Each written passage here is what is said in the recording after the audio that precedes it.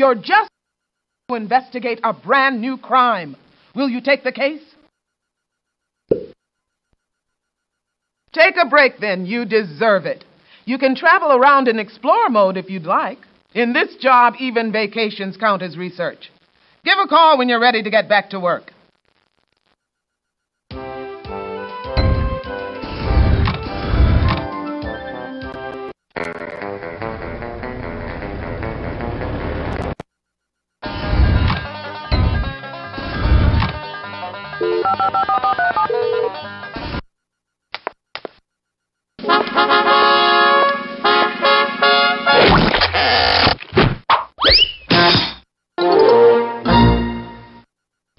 Privilege to meet you.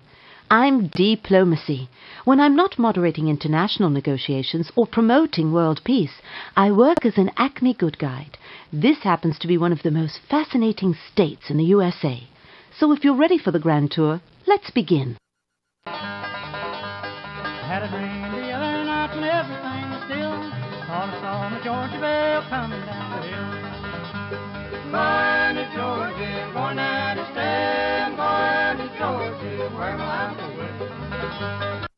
For a hundred years, Alabama's wealth was based on cotton, growing it, selling it, and shipping it out to make clothes for the world. These days, the state is more economically diverse. But if you hear someone mention the land of cotton, they probably mean this place. The civil rights movement began here in Montgomery in 1955 when Rosa Parks refused to move to the back of a bus even though the law said black people couldn't sit up front. She touched off a movement that challenged racially discriminatory laws throughout the country.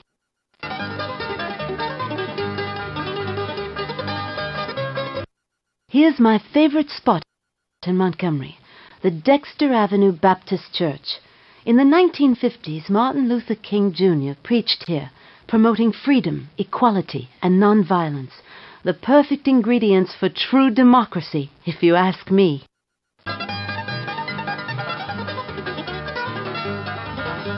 Not far from here stands the first White House of the Confederacy, where President Jefferson Davis lived at the start of the Civil War. He left Montgomery after a few months, but didn't take the house with him. Mobile homes didn't come until later.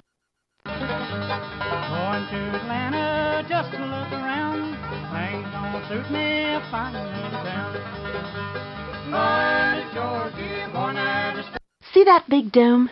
Well, it's not a planetarium, so it must be a capitol. The Alabama Capitol building, to be exact. The state government has done its business here ever since 1846. Well then, until we meet again.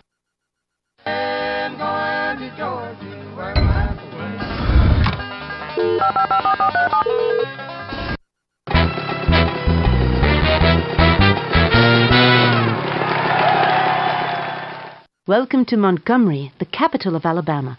Let's take a stroll and see the sights. Well then, until we meet again.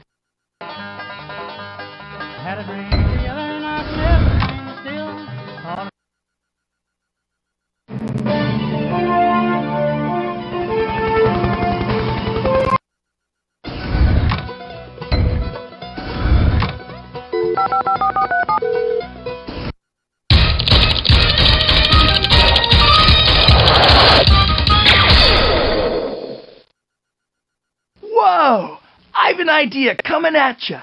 Don't let the youthful looks fool you. I'm a regular titan of tinkering and maestro of all things mechanical. Tantalizing technology and gallons of gadgets are my domain. Luckily, the good old US of A is brimming with cool engineering, so we'll have plenty to talk about.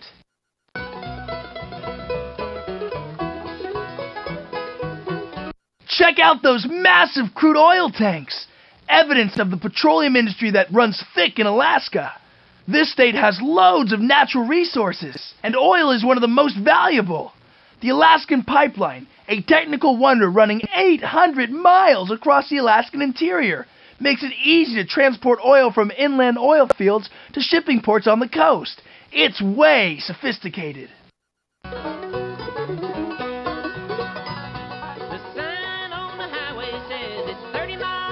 The fun doesn't set with the sun in these parts, 'cause nighttime means a chance to see the dazzling aurora borealis, better known as the northern lights.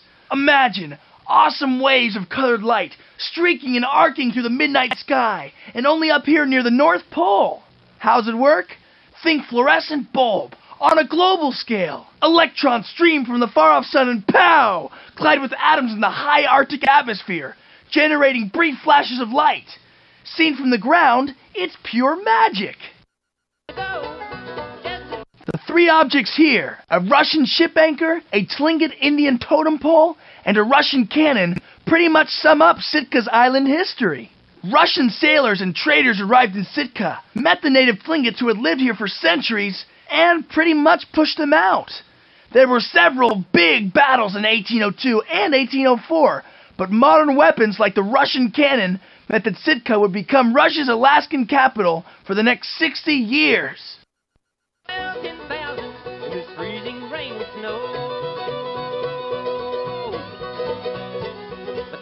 That's a prospector statue, standing proudly in front of the Pioneer House. It's a symbol of the grit and perseverance pioneering people needed to start a life in Alaska a century ago. The Pioneer House is actually the first building around here designed as a retirement home for older people.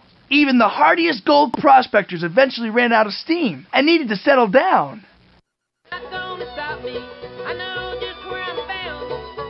The Cathedral of St. Michael's here in the center of the business district stands out as a symbol of Sitka's Russian past. The cathedral was built by the Russian Orthodox Church back when Russia controlled the area. It's a sophisticated design built from a simple material, hardwood, which might explain how the whole thing managed to burn to the ground in 1966.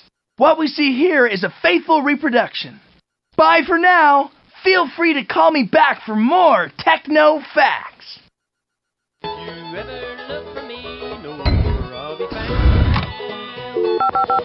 you ever look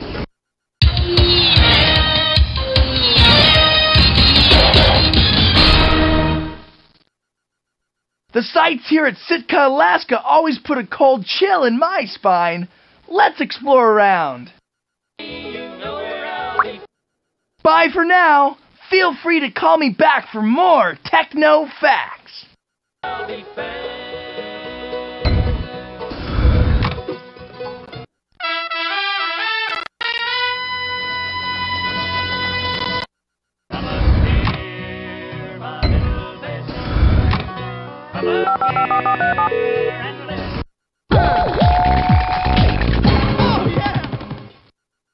Hi, Rock Solid here. Geologist, botanist, ecologist, and economy sized detective. Acme needed a good guide who was in tune with nature, so I volunteered for the job. Now let's hike around this intriguing little piece of our planet. Here's Elephant Rock, one of the red rock hills that surround Sedona. It changes color all day, reflecting different shades as the sun moves across the sky. I've spent whole days watching these hills, when I wasn't tracking a crook, of course. Most of the USA's copper comes from the red Arizona earth, much of it removed by strip mining. Companies dig huge pits to get at the ore, stripping the surface from miles and miles of delicate desert. If mining has to be done, I think it should be done in a more earth friendly way. A little bit of extra effort can go a long way towards saving the environment.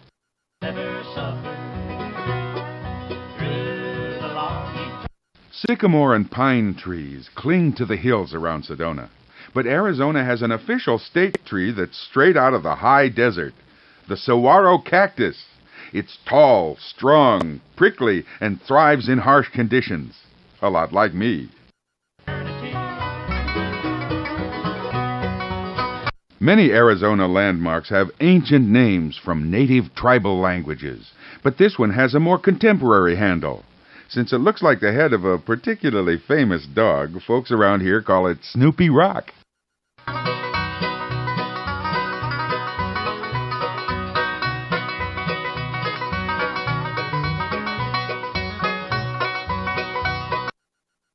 If you're wondering why Sedona's hills are red, the answer is simple. They're full of red minerals like copper and iron. You might think iron is black, but remember what happens when it gets wet rust. This is one of the driest states in America. But the government has spent billions of dollars to pipe water from the Colorado River into central Arizona, turning dry desert into farmland. People have a lot of different opinions about whether this type of irrigation is a good or bad thing to do. Just between you and me, I prefer the desert dry. Bye bye.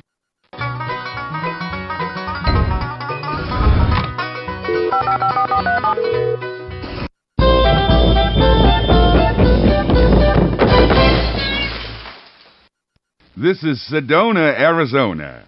If you're ready for some of the most beautiful desert on earth, I'm ready to show you.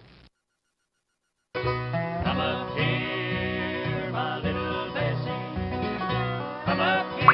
up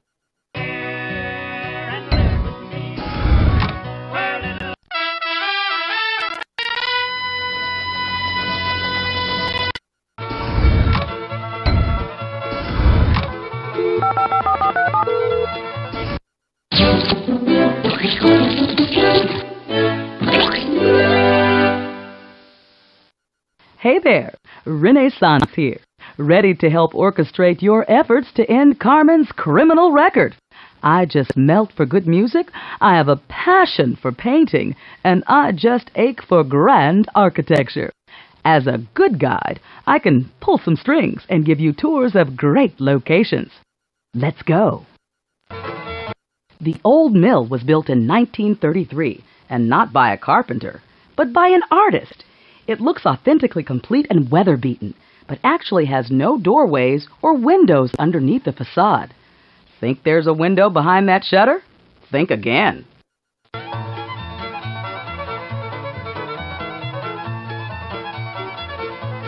The old mill is a good symbol of early rural Arkansas, where cotton was the main crop and sawmilling the first industry.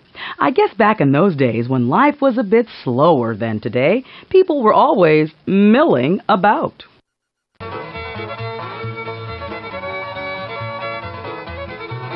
The artist who created the old mill also designed the footbridges, like this one. His name was Senor Dionicio Rodriguez, and he specialized in creating imitation rocks, ruins, and ancient buildings. Wow, not every artist is good enough to create brand new things that already look antique.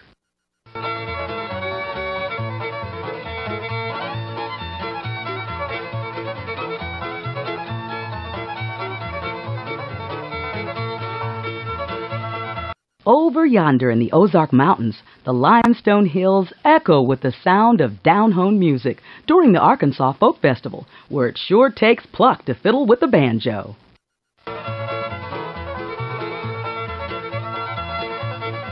Next time you breeze through North Little Rock, check out the Old Mill, which was filmed during the opening scenes of Gone with the Wind. That movie just blows me away. See you later.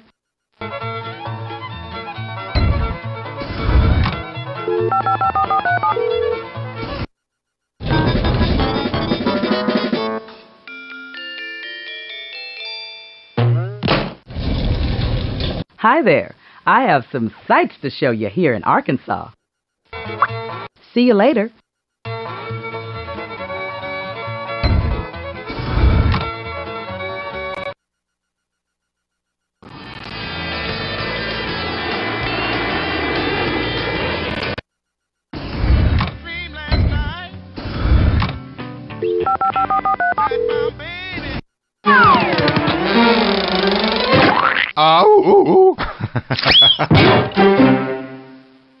Things are always looking sunny here in California.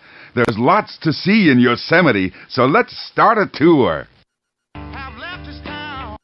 From the first time John Muir saw this beautiful valley in 1868, he dedicated himself to protecting it. Twenty-two years later, Yosemite became a national park because of Muir's work. Then he started the Sierra Club. Talk about a fellow with a lot of positive energy.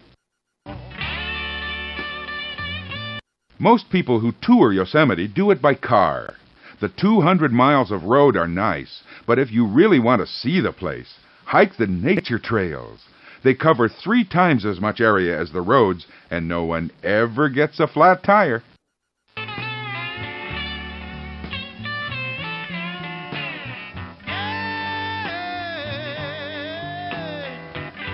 For a great view of the whole Yosemite Valley, climb up there to the top of Glacier Point. It's the best panorama in all of California. 360 degrees of wow. That my baby, my baby, I've left this town. Of Yosemite's many mountains, this might be the most famous Half Dome. Long ago it was pointy, but Ice Age glaciers sanded it down and rounded it off. Of course, the weather still changes the mountains a little bit every day through erosion. Geology might move slowly, but it never stops. Yosemite covers a huge hunk of the Sierra Nevadas, from its 13,000 foot peaks to its glacial valley, with giant sequoia trees, tiny ferns, rivers, waterfalls, cliffs, and 429 lakes in between. Someday I'll see all 1,200 square miles of it, but not this time around.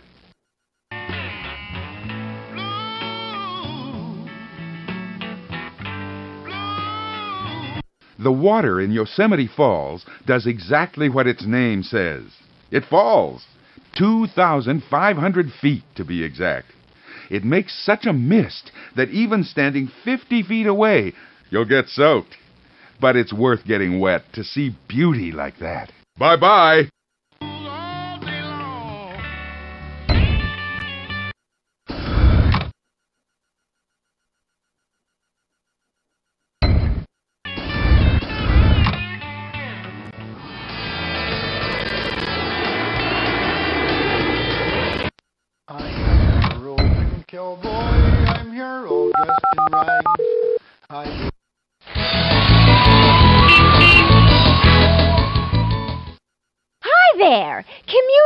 The name and culture's my game. I love to study how society works, and right now I'm feeling very social. Let's take a tour around here and see who we meet. be a tough one and take on great big jags. Modern sculptures like this one reveal that the people of Aspen really like to branch out into the arts. With a jazz festival, film festival, art museum, and dance group, Aspen is a center of high culture in the lofty Rocky Mountains. But I got a homeboy's a good one, you all know. Although I haven't seen it for many years ago. But I'm going back to Dixie once more to This is Wheeler Block, named after a wealthy investor who helped Aspen reach its peak. Although silver mining was the first industry in this town, you could say later residents struck gold when they turned Aspen into a premier ski resort. see them all. I'm going to see my mother. In Aspen, outdoor activities don't dribble away when the snow melts. During the summer, these mountains are perfect for hiking, biking, whatever's to your liking. You can have a ball playing golf, or if tennis is your racket, you'll find that here too. When the work's all done this fall.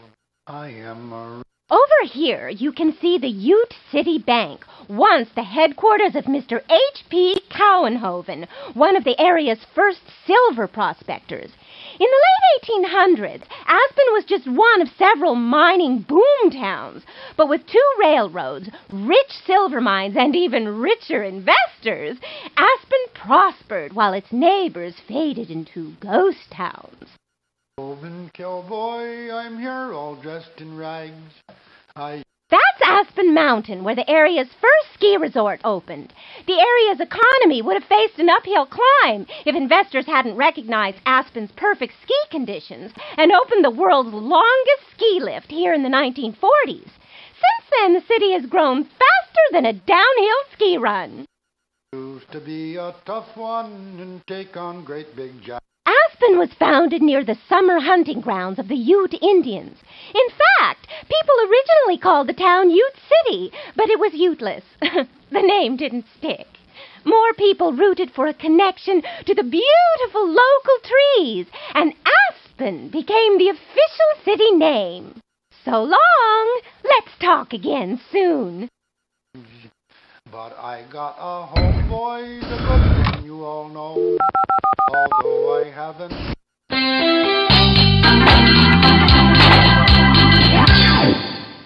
Come on, let's hit the slopes of Aspen, Colorado. for many, So long. Let's talk again soon. many years ago. But I'm going back to the sea once more.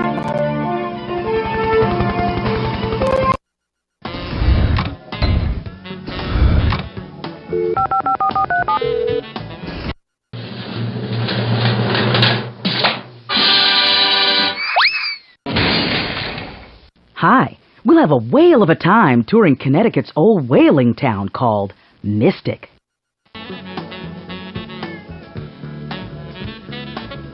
It's no fluke that this ship, the Charles W. Morgan, is still around. It's a classic example of an old three masted wooden whaling ship built back when shipbuilding was an art form. Connecticut was once the leading whaling state, back when fleets of ships hunted down whales for their oil, which was used to make soap, wax, and other products. The U.S. today has banned most whaling, which makes me happy because I love whale song. I'll bet the whales are happy about it too. It's not a mystery why this town called Mystic prospered. During the 19th century, over 300 ships were built in this shipyard. Today, the recreated town of Mystic Seaport serves as a living window to sailing history. See what I mean?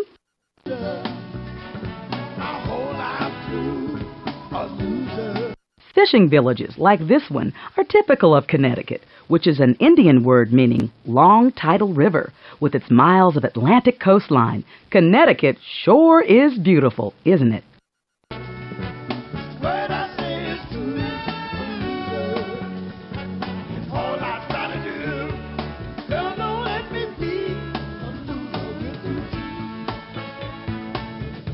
Here in Mystic, you can watch traditional shipbuilders constructing sailing vessels by hand.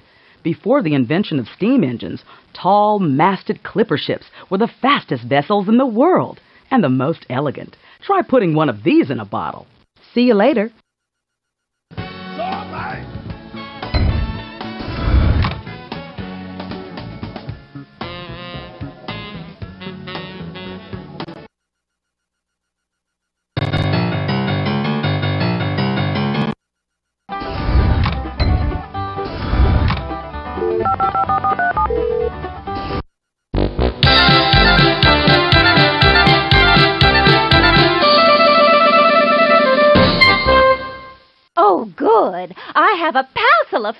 About historic New Castle, Delaware.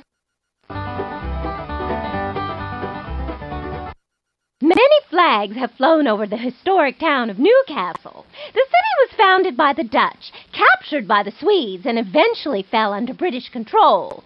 During the Revolutionary War, the town sided with the colonies, and New Castle became the first capital of Delaware.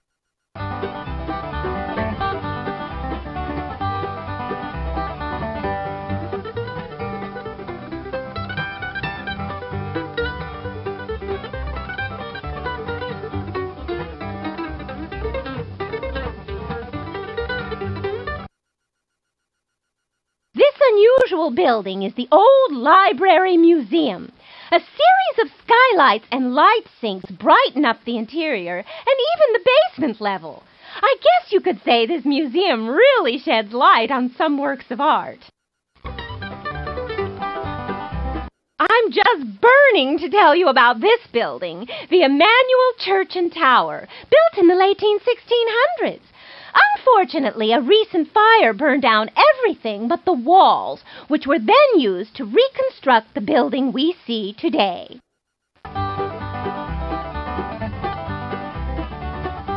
This Dutch treat is the Dutch House Museum. It was built in 1707 and represents a fine example of Dutch colonial style. The building has been well preserved, hardly changing a bit in nearly 300 years. Talk about being set in your ways.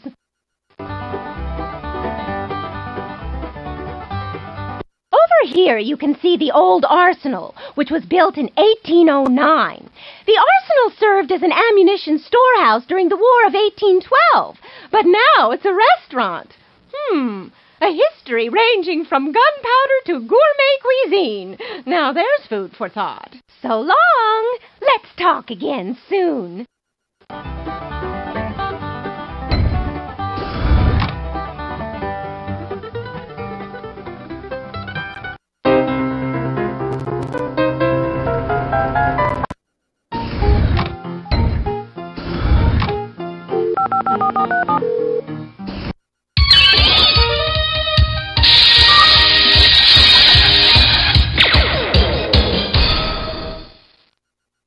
What a blast! Let's orbit around the Space Gear here at Florida's JFK Space Center.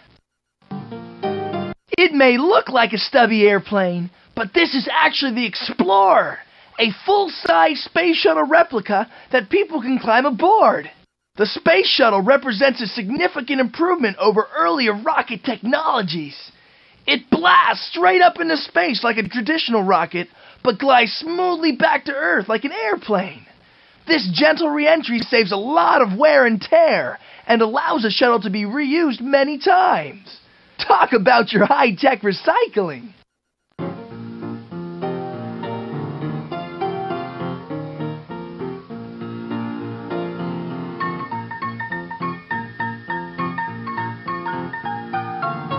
This place is a tech lover's dream.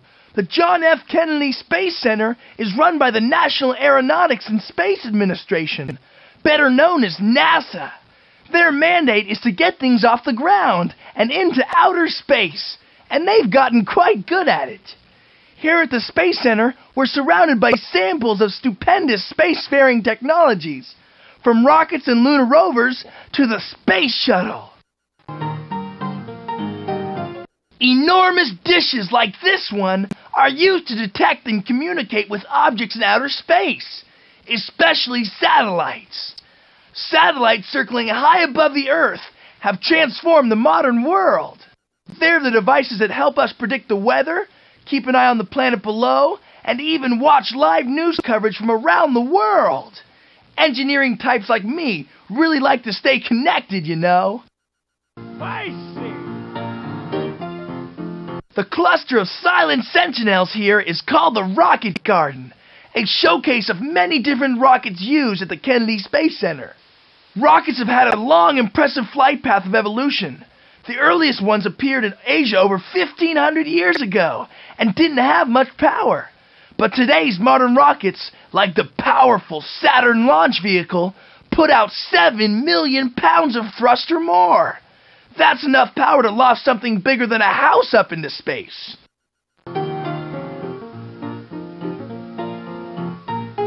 It might look like a toaster with legs, but think again.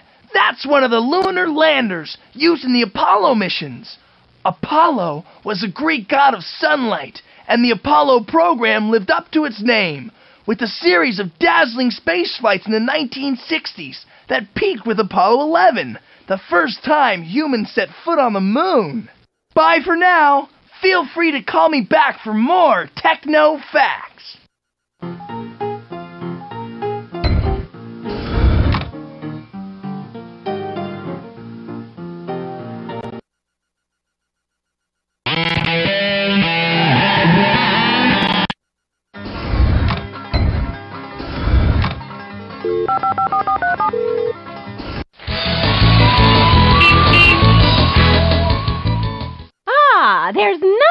Like a little southern exposure.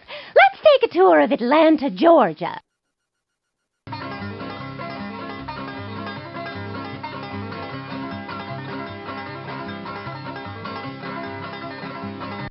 During the Civil War, General William Tecumseh Sherman marched through Georgia. After many fierce battles with the Confederate Army, he captured Atlanta. And before continuing on his famous march to the sea, the Union general burned most of the city to the ground. It must have been quite a sight.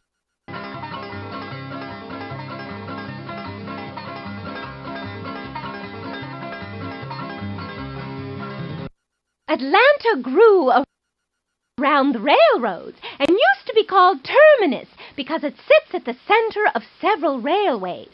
The city was heavily damaged during the Civil War, but that wasn't the end of the line. Atlanta eventually regrew and became a symbol of the reunion between North and South.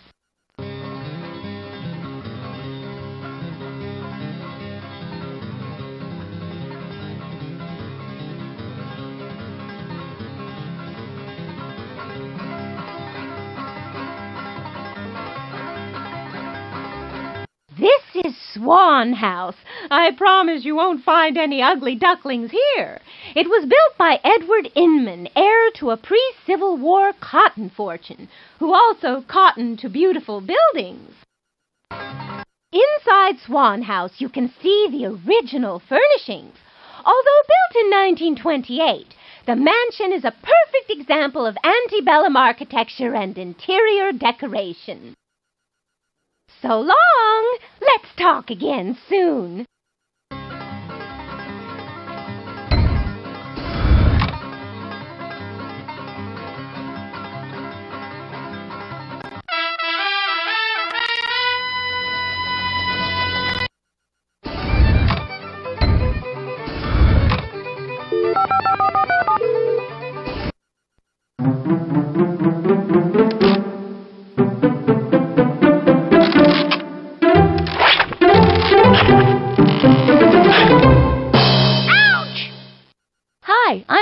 Antiquity, archaeologist extraordinaire. And when I'm not getting my thrills helping Acme agents catch Carmen's crooks, I earn my living digging up dirt on the distant past.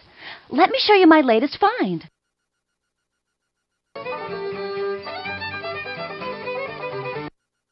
Hawaiians carved fierce im- images of their gods, sometimes called tikis, to scare people away from sacred ground. Would you want to hang around with one of these guys looking over your shoulder?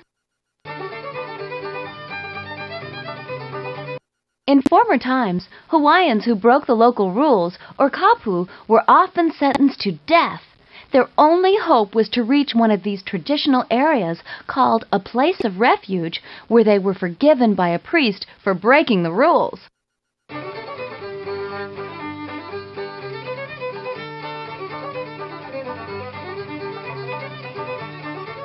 Next time you dream of going to Hawaii, remember this. The islands are actually the tops of volcanic mountains, and some, like Kilauea and Mauna Loa, are still active. So on your next vacation, you may be in for a really hot time. In 1778, Captain James Cook sailed into these tropical islands, changing, and some people would say spoiling, Hawaiian culture forever. I guess you could say he was the first tourist.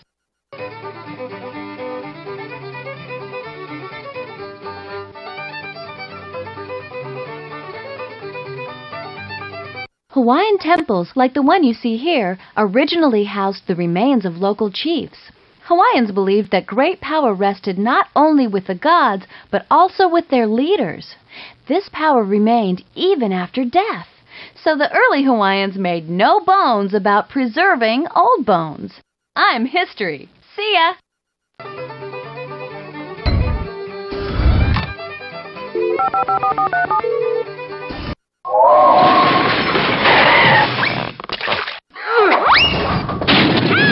Aloha!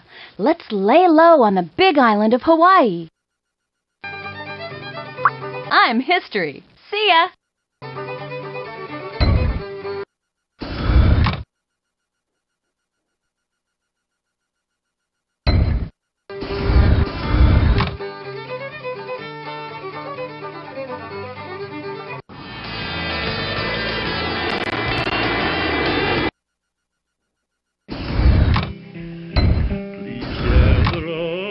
Last hand the.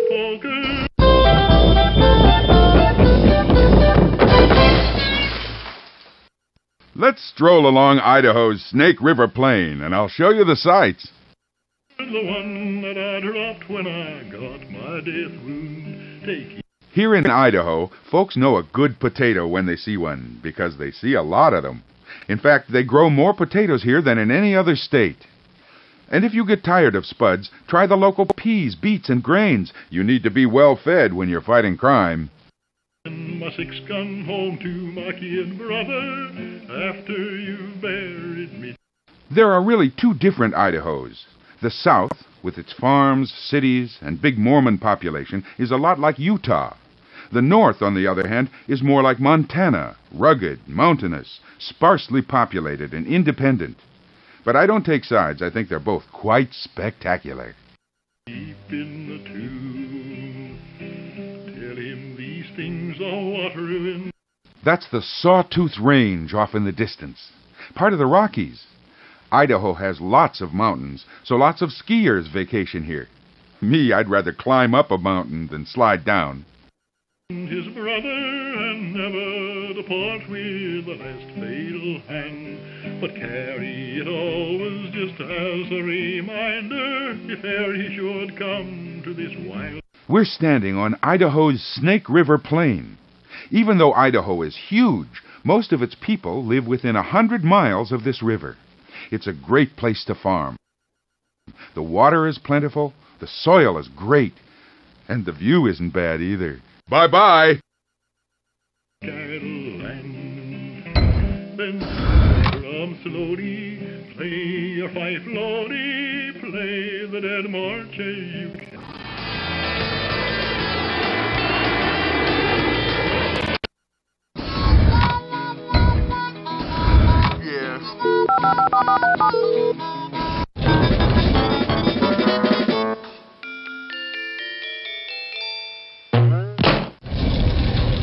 Oh boy, Illinois! Let me tell you what I know about Chicago.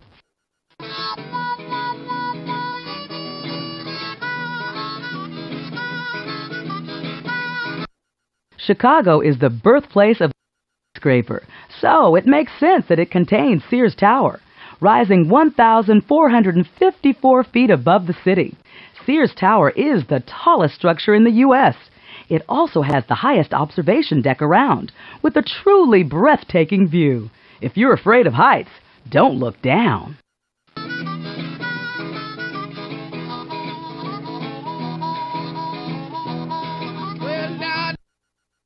This is Buckingham Fountain in Grant Park. The flumes of water reach up to 150 feet high. During the summer, colored lights illuminate the showers of falling water, making for a beautiful but wet show. Anyone have an umbrella? If you're ever in Chicago and someone tells you to go jump in the lake, you'll know which one. This strip of water is just a small part of the mighty Lake Michigan, one of the Great Lakes.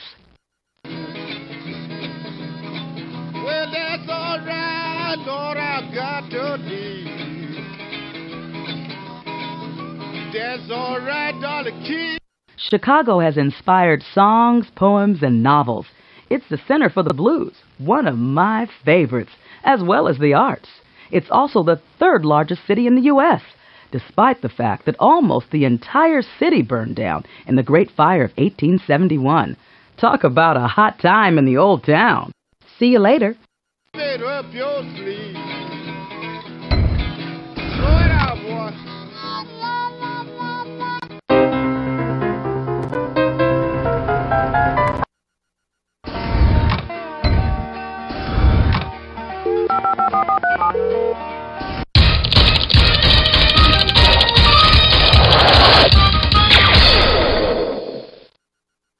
Time to belt up, partner, for a spin around the Indianapolis 500 Speedway here in Indianapolis.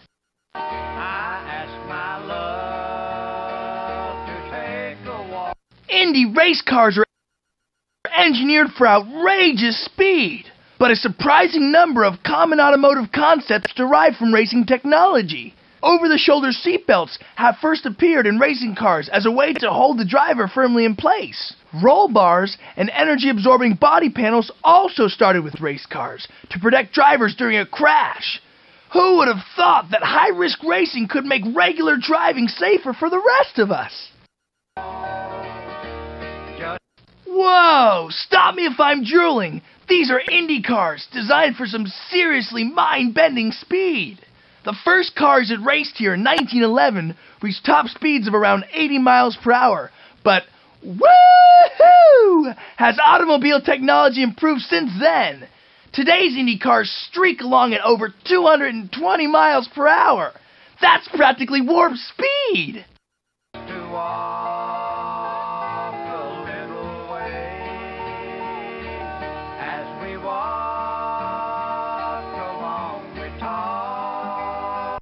The Indy 500 track makes a winding circuit exactly two and a half miles long, which includes this blazing 1,000 meter straightaway along the grandstands. Originally, the track was paved with brick, but it was eventually resurfaced with smooth asphalt in 1935 to allow for higher speeds.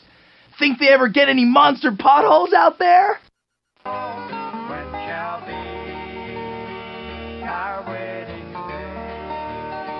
I could spend all day idling around here at the Indianapolis 500 Hall of Fame learning about the raceway.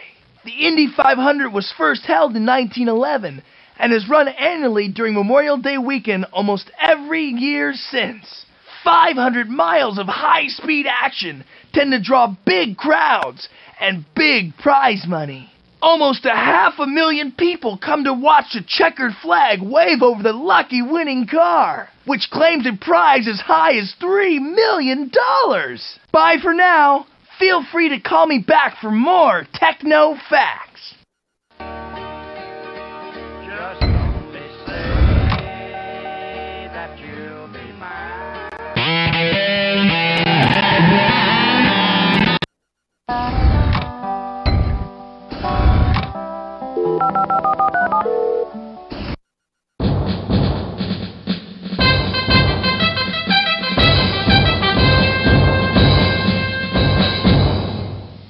Here we are in Iowa, Des Moines to be exact. Let's have a look around.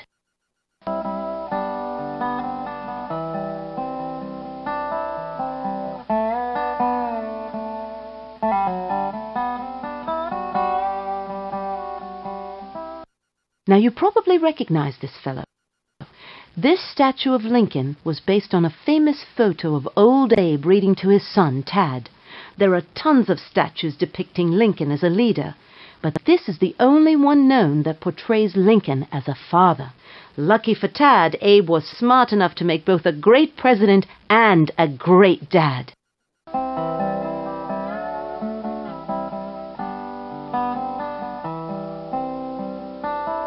Iowa's capital was originally Iowa City, not Des Moines. But since Des Moines is in the center of the state, some folks thought it would make a better location for a capital. It took a lot of negotiation to make the move happen. But remember, negotiating is always better than fighting. Native people lived in this area long before Iowa became a U.S. state. In fact, scientists have found 3,000 year old human bones nearby. Even the state's name, Iowa, came from a native Indian tribe. In a sense, we're all guests here, so remember, be polite.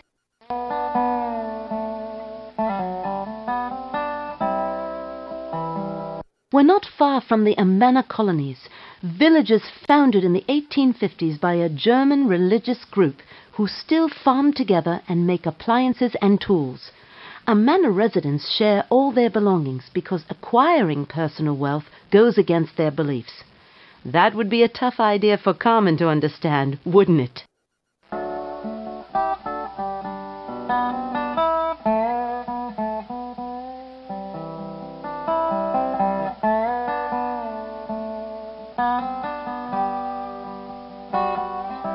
And here's the Iowa State Capitol building. See the Golden Dome? That's real gold plating. Over 200 ounces of it spread out ever so thin. The craftspeople who built this place took 15 years to do it.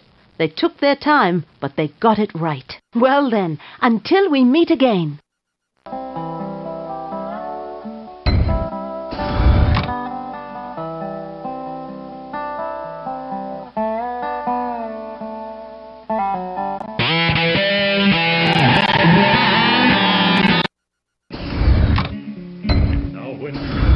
City, we drew our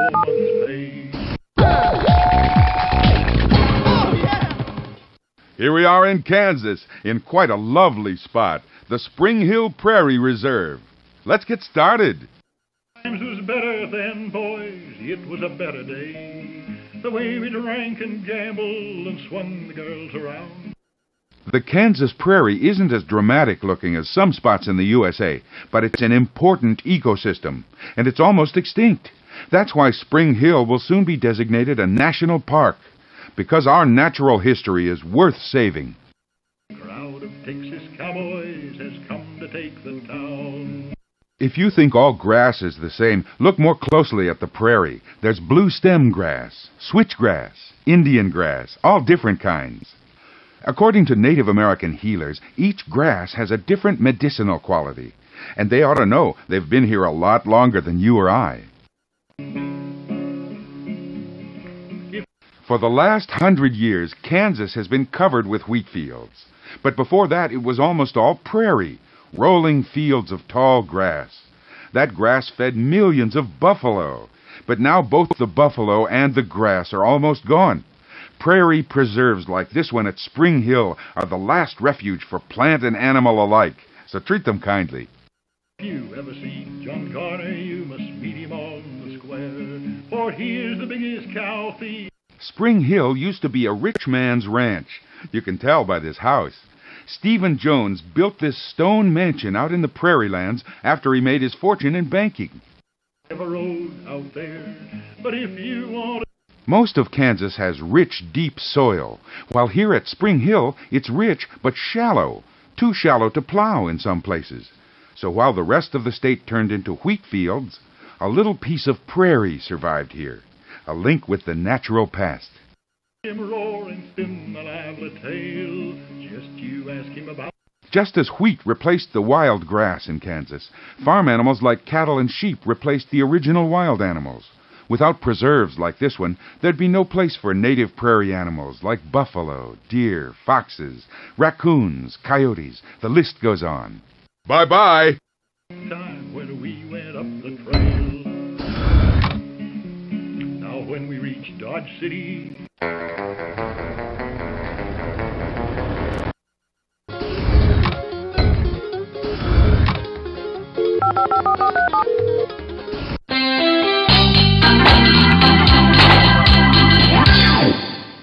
And we're off to race around Churchill Downs, home of the Kentucky Derby.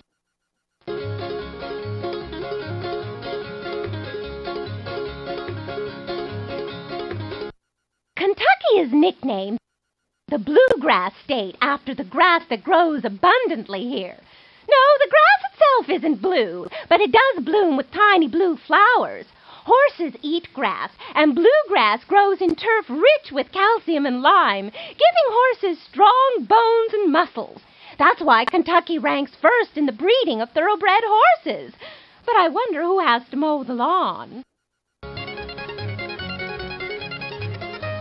The original grandstand was here on the east side of the track, which meant that spectators had to look right into the setting sun to see the race. Hmm, I wonder if that's what they mean by blinding speed. Anyway, it finally dawned on the owners to move stands to the opposite side, where they are now.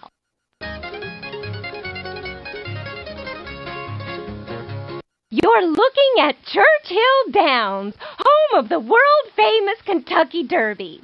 Churchill Downs was founded in 1875, and the Derby has been run here every year since. This place is so much fun, wild horses couldn't drag me away.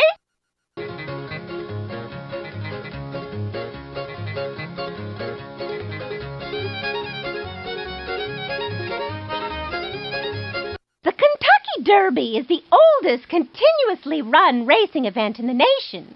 Horse racing fans call it the greatest two minutes in sports and the Run for the Roses. Three year old thoroughbreds race one and a quarter miles from start to finish. Ooh, I'd hate to run that far carrying someone on my back.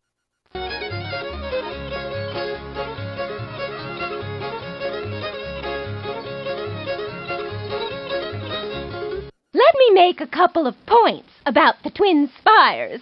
These classic spires were built in 1895 and became the instant symbol of the Derby. The two steeples rise a 120 feet into the blue Kentucky sky. That's about 12 stories high. It's quite an inspiring sight. So long. Let's talk again soon.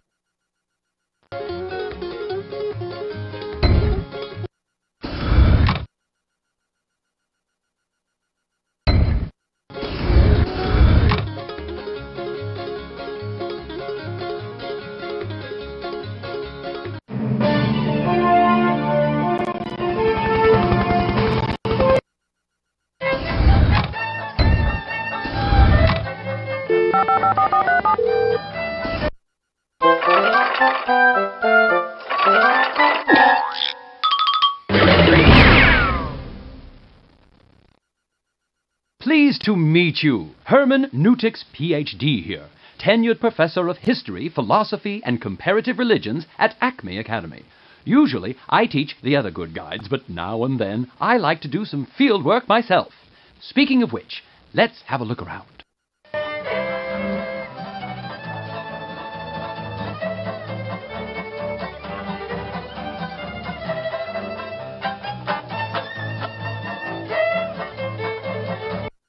The square is quiet now, but that's not always the case. Every year, just before Lent, New Orleans becomes one huge party with crowds, costumes, parades, dancing, and lots and lots of eating. It's called Mardi Gras. That's French for Fat Tuesday.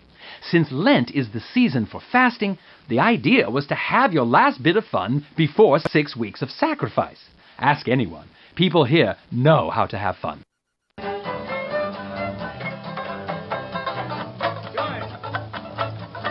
This grand arched edifice is the Cabildo. The Spanish built it as their capital building back when Spain controlled this city in the late 1700s. Nowadays, it's a museum showcasing the different cultures of the area, going all the way back to the original Native American Indians. Intriguing stuff.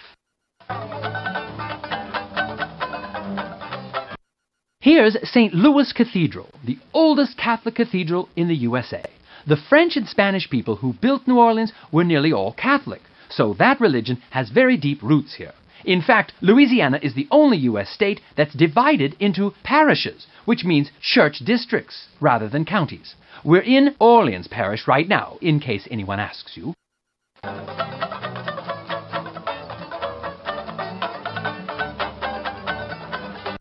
We're in Jackson Square, named for Old Hickory. Now that's President Andrew Jackson.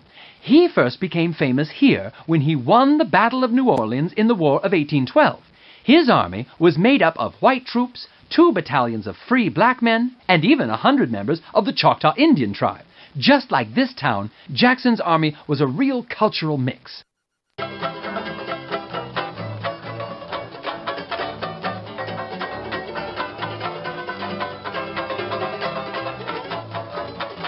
Here are the Pontalba Apartments, a fine example of this town's unique architectural style. You'll find multi-story decorative wrought iron balconies like this all over New Orleans. They're quite practical.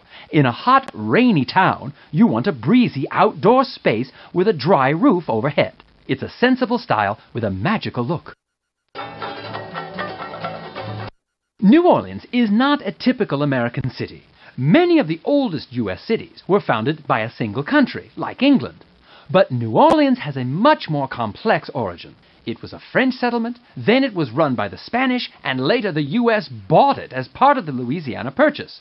Now mix in immigrants from Africa, Italy, Ireland, and everywhere else, you get a very spicy town.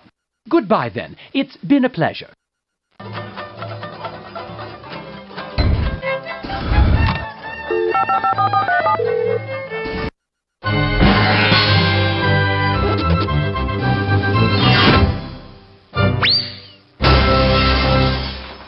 Mon ami. We're here in the French Quarter, an elegant part of New Orleans, Louisiana's most distinctive city. Let's go for a stroll, shall we? Goodbye, then. It's been a pleasure.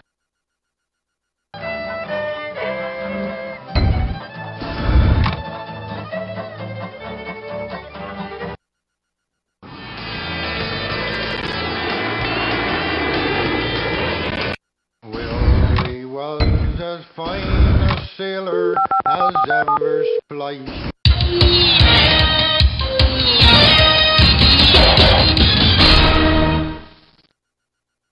I get all lit up about the Portland headlight standing guard here on the Maine coast. Let's scope the scene. The rope and Mary was West of here lies a forest of Maine's interior, thick with both perennial softwood and deciduous hardwood trees. Deciduous trees put the fall in the fall season. They've adapted to drop their leaves each year before freezing winter weather sets in. This prevents the trees from suffering frost damage or collapsing under the weight of heavy snowfall. When spring finally arrives, the deciduous trees grow a whole new set of leaves, starting the cycle anew. His own true love, his own fond love at home. They dearly The beautiful Maine co- coastline has dazzled generations of Americans. But ever wonder where it gets a unique craggy look? Two answers ice and ocean. The coastline here was once a glacier covered series of mountains and valleys, which became partially submerged when the last ice age ended and the melting glaciers raised the sea level. The powerful wave action of the ocean then took over, steadily wearing away at the new coast and giving it the rugged look you see today. loved each other and were doing Off in the distance, you can ju- just make out the skyline of Portland, Maine's largest city. Portland specializes in the production of pulp and paper. In fact, a surprisingly large proportion of paper made in the U.S. comes out of this single city. Next time you find yourself jotting a note, you may be writing on a thin slice of Maine. join their wedlock band. The pudgy tugs over there are lobster boats, dedicated to the pursuit and capture of the enormous and delicious Maine lobster. Fishermen catch these giant red crustaceans using a clever trap called the lobster pot. It's a box like device placed on the ocean floor, which uses a tunnel of netting or a one way trapdoor to entice the lobsters inside and then keep them there. The lobster pot doesn't actually harm the lobster, but the dinner pot isn't quite so kind. When Willie got his orders to sail to some foreign This illuminating cyclops is a Portland headlight. It's the oldest lighthouse in Maine and has been a real guiding light to ships entering Portland Harbor over the past 200 years. Talk about a long lasting light bulb. Willie was as fine West of here lies a forest of Maine's interior, thick with both perennial softwood and deciduous hardwood trees. Deciduous trees put the fall in the fall season. They've adapted to drop their leaves each year before freezing winter weather sets in. This prevents the trees from suffering frost damage or collapsing under the weight of heavy snowfall. When spring finally arrives, the deciduous trees grow a whole new set of leaves, starting the cycle anew. Bye for now. Feel free to call me back for more techno facts. sailor as ever spliced a rope. And Mary was his own true love, his own.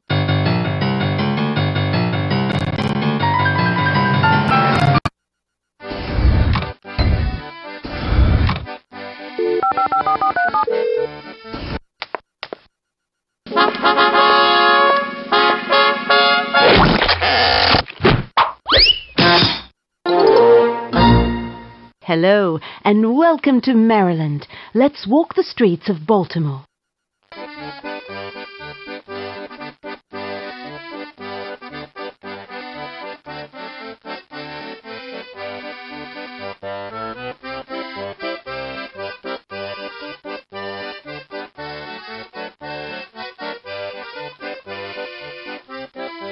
Francis Scott Key wrote the Star Spangled Banner right here on a ship in Baltimore Harbor during a battle in the War of 1812. It's a fine song from an awful war, but then all wars are awful.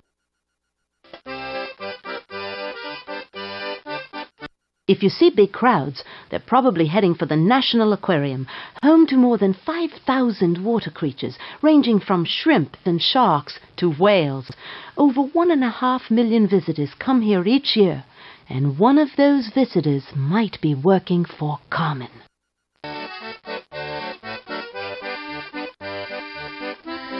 We could board the USS Constitution, but it's permanently docked, so we wouldn't get far. This grand vessel served 146 years in the U.S. Navy. They finally retired it when the warranty ran out.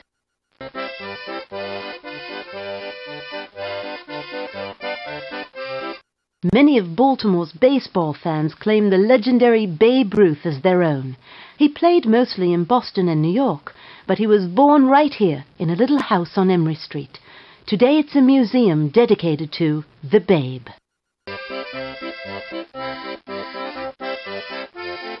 Ah, yes, the cafes and shops of Harbor Place. Baltimore's harbor area became a bit run down in the 1960s and 70s, but in the 80s it bounced back, and bustling malls like this one helped. Maybe next time you're here we'll have a fine meal together down by the waterfront. Well then, until we meet again.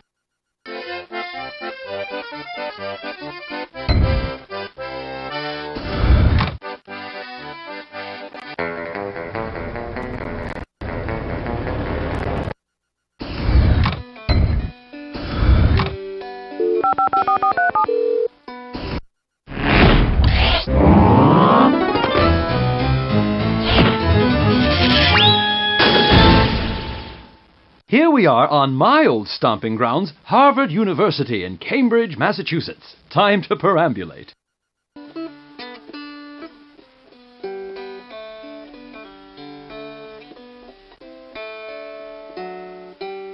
I'll sing you a song that's not very long about young men who wouldn't hoe corn. The reason why no one can tell. Harvard is here in the city of Cambridge, just across the river from Boston. Cambridge is also home to MIT, the Massachusetts Institute of Technology.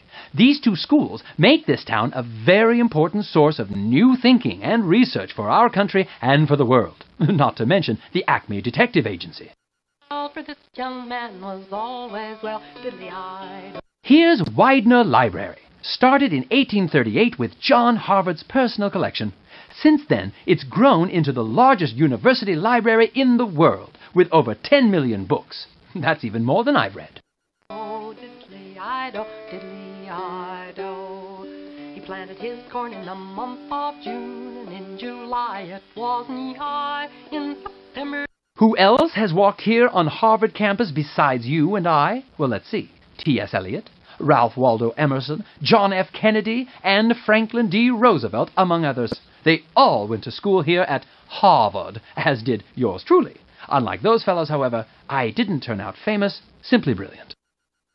there came a frost, and all this young man's corn was lost. Diddly-I-do, diddly-I-do, diddly-I-do. I'll sing you a song. The Puritans founded the country's first college here in 1636, just 16 years after they arrived in the New World. For its first two years, the new school had no name. But when a prominent minister named Reverend John Harvard died and left his books to the school, a new name was born. Harvard College, now part of Harvard University, has stood here ever since. Goodbye, then. It's been a pleasure. That's not very long about young men who wouldn't hoe corn. The reason why no one can tell, for this young man was all.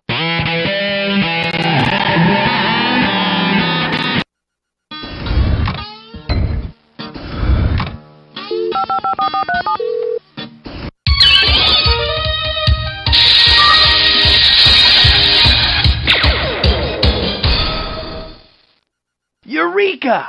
Ready to make some discoveries at Michigan's Greenfield Village? Let's walk the walk!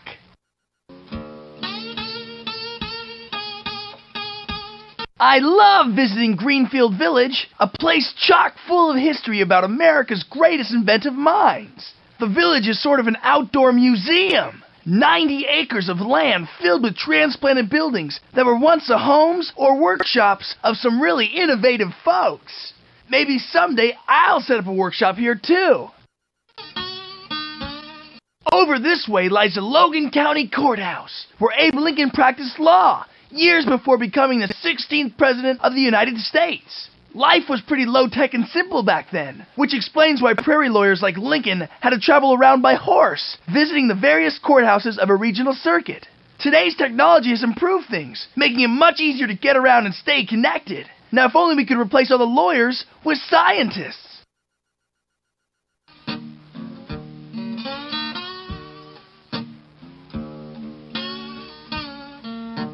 Side by side here, we have the Wright Home and Wright Cycle Shop, where the famous Wright brothers worked out their designs for the world's first machine capable of self propelled flight the airplane. Obviously, the brothers Wright got it right.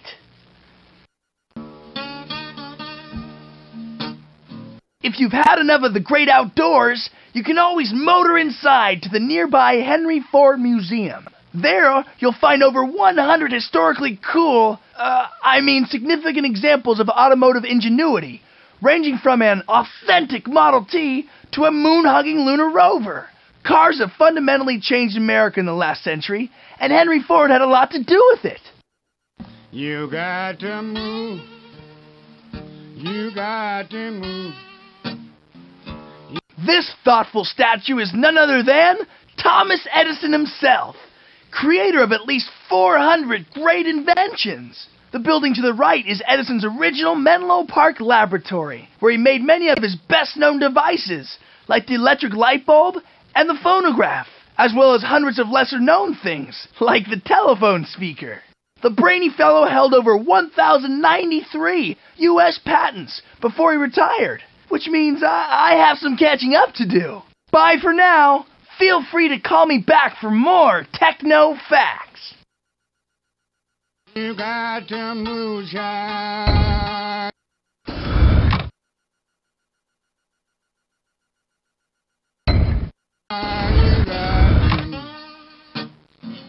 But when they're low,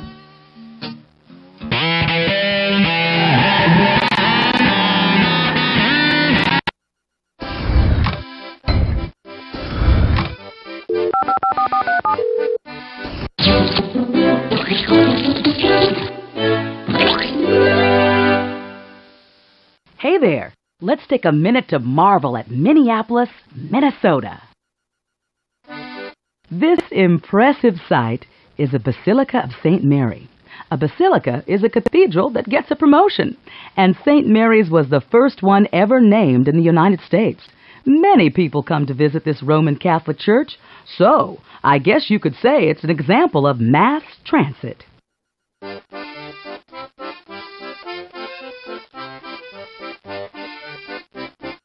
The Guthrie Theater is one of the nation's best known theaters. It's home to a permanent group of actors who perform classical plays, such as Shakespeare's Hamlet. While in Minneapolis, if you start wondering whether to be or not to be, just check out the Guthrie.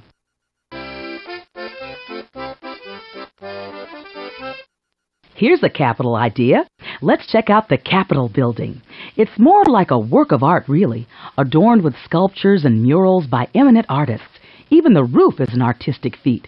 It's one of the largest self supporting marble domes in the world.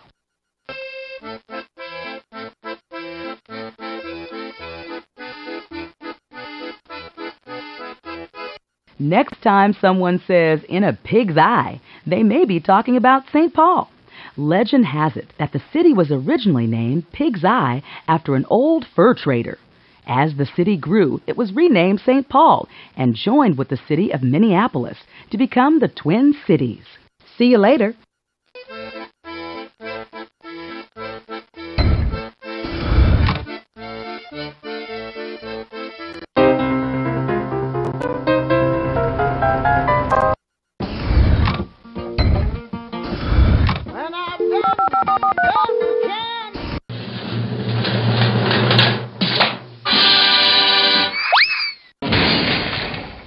Hello. I've got a river of information about Natchez, Mississippi.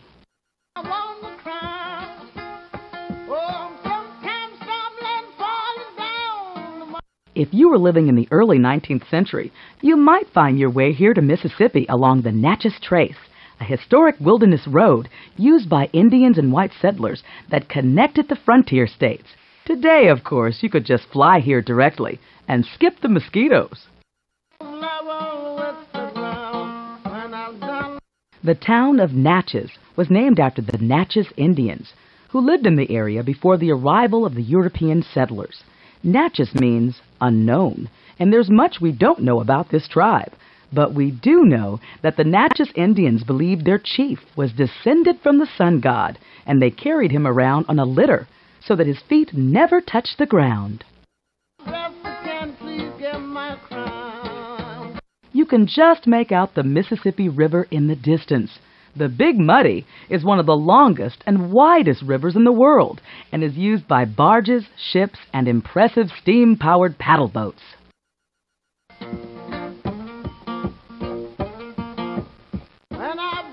The Edelweiss House is one of the many mansions that make Natchez such a picture perfect place to visit. It's actually designed like a Swiss chalet, which is appropriate since an Edelweiss is a flower found only at high altitudes, like the Swiss Alps.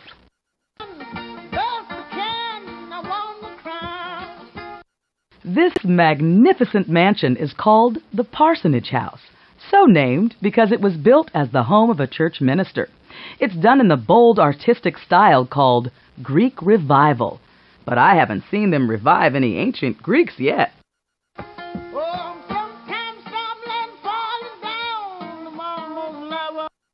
You can look north, east, and west, but you won't find a better symbol of the Old South than this mansion, the Rosalie.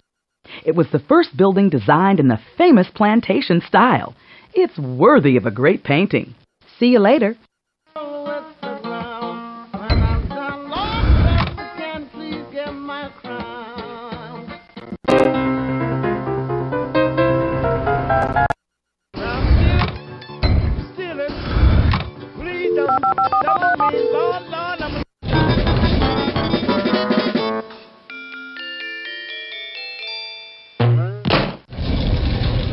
Hi.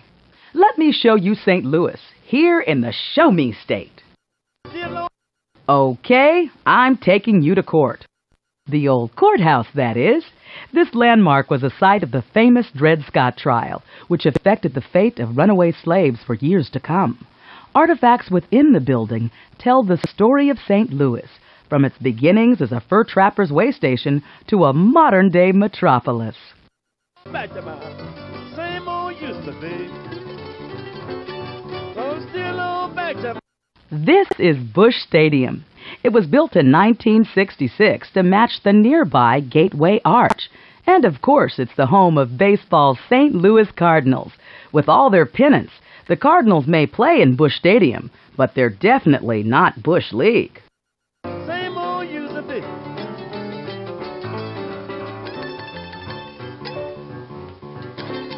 Although its big brother, the Mississippi, is more famous, the Missouri is actually the longest river in the United States. It flows out of Montana, then joins up with the Mississippi River just north of the Gateway Arch. How's that for current information?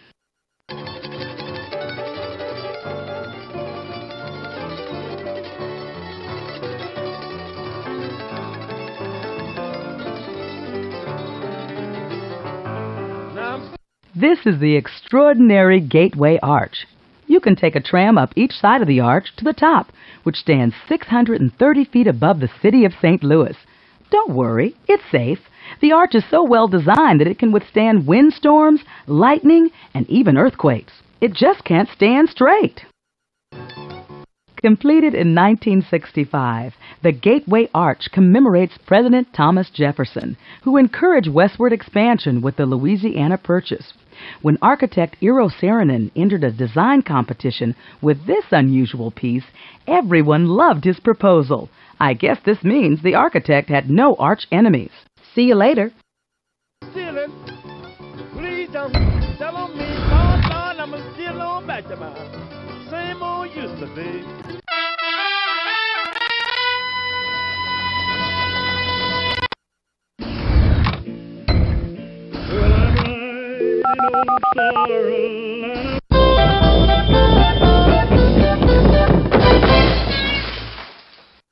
They call this part of Montana many glaciers because, well, because it has many glaciers. Let's look around.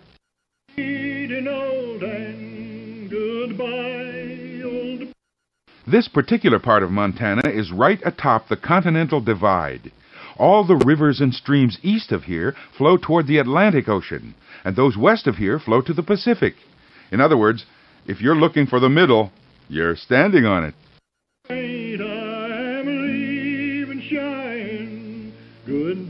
In Montana, you won't find better lodgings than this Many Glacier Hotel in Glacier National Park. A thousand miles of hiking trails start and end here at this cozy spot. And every night you can catch a lecture from a naturalist or ranger. I've done a few myself. I'm leaving Cheyenne. Goodbye, old I'm leaving Cheyenne. The Ice Age is over, but it's not dead here in Glacier National Park.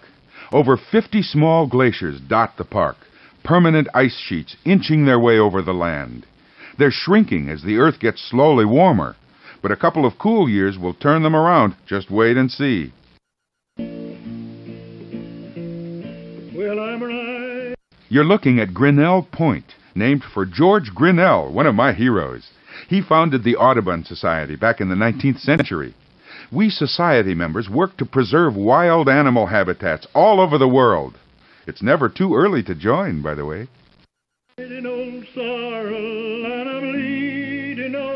This part of the astounding Montana landscape was carved by glaciers, huge moving sheets of ice that grew and retreated during the Pleistocene age. They slowly carved lakes, valleys, and peaks from the limestone, siltstone, mudstone, and every other stone in their way. Glaciers are slow, but watch out, they're strong. Bye bye!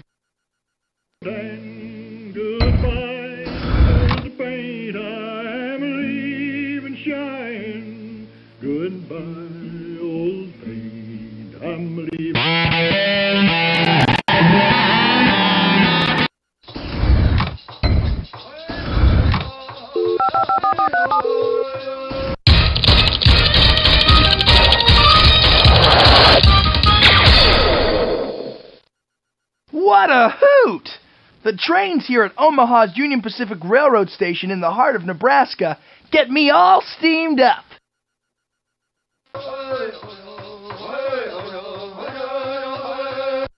One of my favorite figures in history of the Old West has to be Grenville Dodge, the chief engineer of the Union Pacific. He was instrumental in surveying and building many of the crucial rail lines that cross the western states. Believe me, it's not easy building a straight train track over hundreds of miles of rolling prairie land.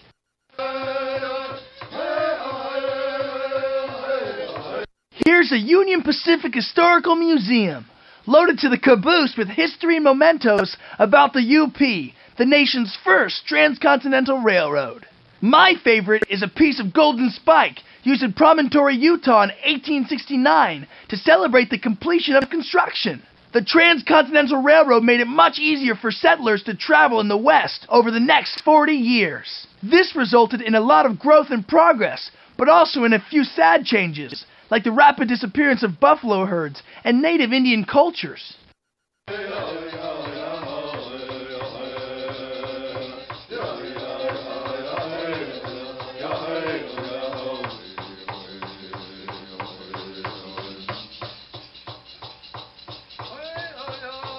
I love hanging out here at the rail yard, pondering the advances in locomotive technology over the years. Steam locomotives, which burn coal to create steam to drive massive pistons, were the name of the game for over a century. Massive models like this classic Big Boy were famous for their durability and mountain climbing power. Modern diesel electric models are even stronger. Some can pull 200 cars along at over 75 miles per hour. Oh, Nebraska may be known as a farming state, but me, I think of it as a train state. Trains were essential to the expansion of Nebraskan farm towns like Omaha, allowing the transport of farm produce to distant cities. When President Lincoln created the Union Pacific Railroad in 1862, Omaha became its eastern terminus. Train transport and agriculture continue to be essential elements of Omaha life. Bye for now. Feel free to call me back for more techno facts. おはようございます。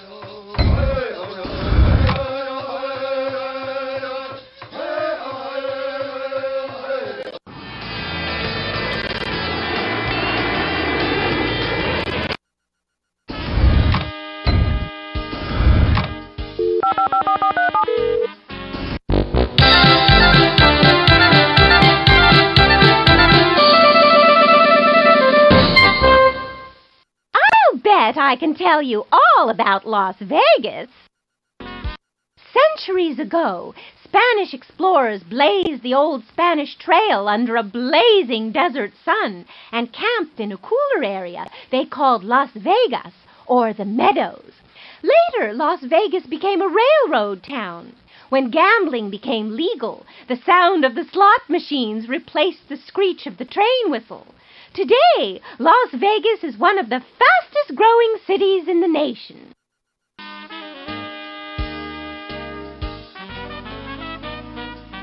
Las Vegas has always been a hot spot. Literally, it's built in the hottest, driest part of the nation. If it weren't for nearby Hoover Dam, which provides both water and hydroelectric power, the city would dry up faster than a gambler's bank account.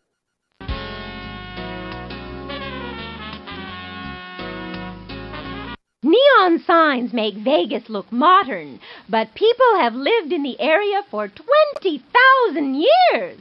People called basket makers wove their way through the area long ago, and Paiute Indians have called Nevada home for ages. Of course, so has entertainer Wayne Newton.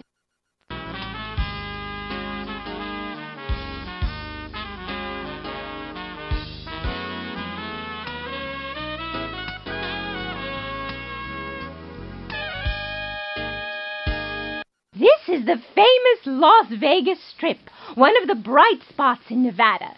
Neon signs and electronic billboards point the way to gambling casinos and extravagant hotels that look like Roman forums, Egyptian pyramids, and even a mini replica of New York City. All out here in the middle of the desert. So long! Let's talk again soon.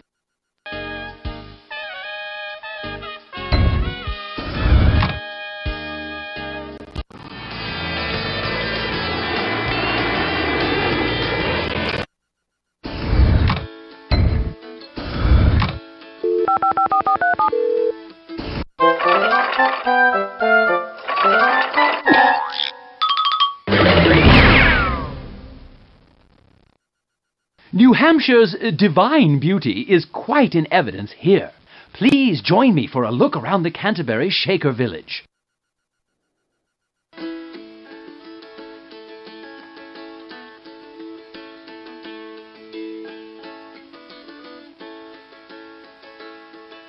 He then called in his sec. To the Shakers, equality between men and women was important. And this was back at a time when women weren't even allowed to vote in America.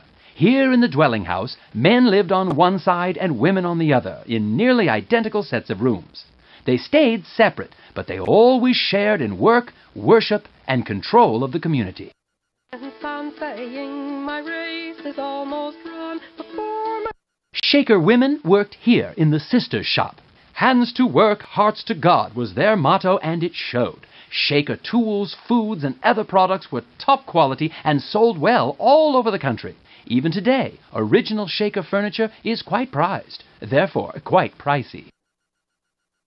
Will that I shall make what share of. Here's the Shaker Children's House. The children lived with their caretakers. Shakers didn't believe in marriage or having their own offspring, but they adopted orphans, raised them, and cared for them. Once they reached adulthood, they could either stay in the community or move back out into society. The no marriage rule is the main reason the Shakers died out. Oh, do you intend to take the old mill kept her. Canterbury was one of a dozen Shaker religious communities in the United States. During the 19th century, thousands of Shakers lived in communal farms like this one, sharing their belongings and praying and working together. The religion started in England, where its leader, Mother Ann Lee, was jailed for her beliefs. That's why the Shakers moved here, for religious freedom. Round and round. The The Shakers weren't always called Shakers. They got the nickname because of how they worshipped.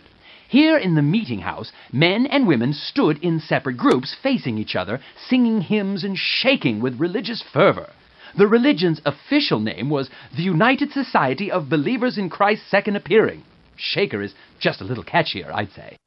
replied whose name was Ralph. Of every bushel I'll take one half. Of every bushel that I shall grind, that I may an honest living find. The old mill wheel kept her. Like the Amish, the Shakers intentionally stayed apart from society. But while the Amish rejected technology, the Shakers liked it. In fact, they invented a lot of it the circular saw, the flat broom, the cut nail, the clothespin, and the metal tipped pen were all Shaker inventions.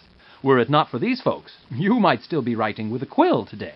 Goodbye, then. It's been a pleasure. Round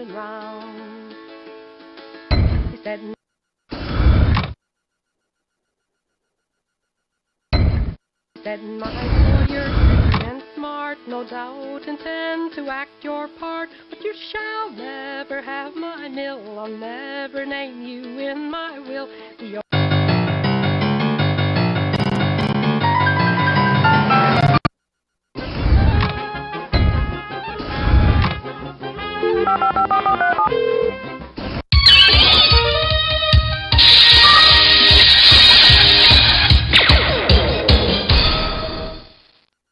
Let's have a look around the sandy Cape May, New Jersey, along the Atlantic coast.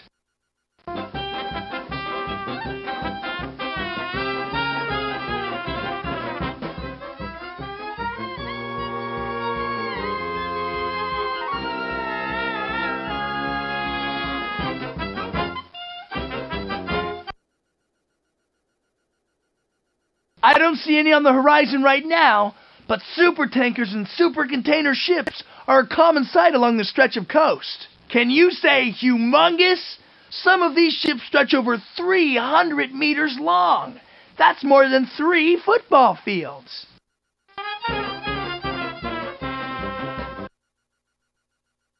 This fence may look dull, but it actually serves a clever engineering purpose to keep the Jersey Shore on the Jersey Shore. Erosion poses a constant problem around here, as the ocean steadily washes away the beach. In fact, two previous versions of Cape May's lighthouse had to be rebuilt because of the advancing sea. Erosion control fences like this one were recently installed to hold beach dunes in place and hopefully keep the ocean at bay.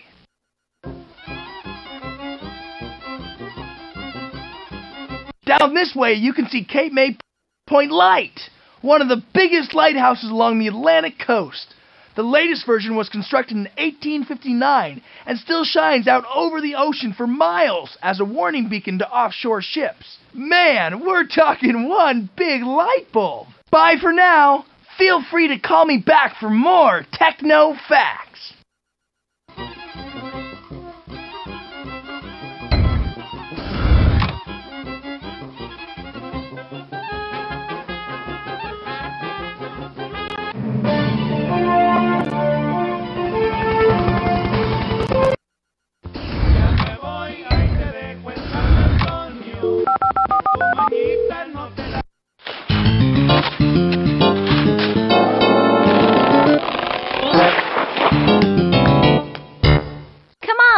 I'll show you some intriguing sights here in Taos, New Mexico.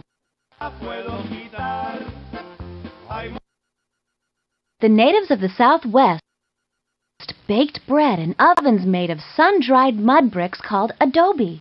Oddly enough, they used the same kind of adobe to build their houses. I hope that doesn't mean their homes were as hot as an oven.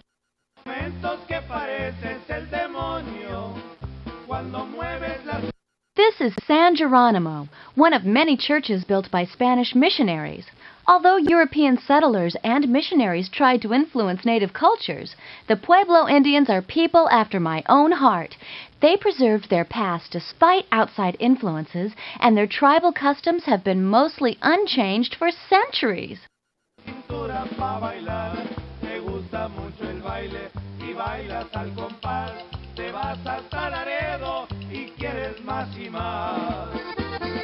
The Taos Pueblo Indians hunted in the Sangre de Cristo Mountains where game was plentiful. They lived near the mountains in multi leveled structures called a pueblo that looked a lot like a modern apartment building. But you can bet this place will never become a condo. The Spanish used the word pueblo, meaning town, to refer to the communal villages of the southwest native Indians. The Pueblo Indians are sometimes referred to as cliff dwellers because they often built their homes directly into steep cliff sides. But not all of them liked living on the edge. The Pueblo at Taos was built on solid ground.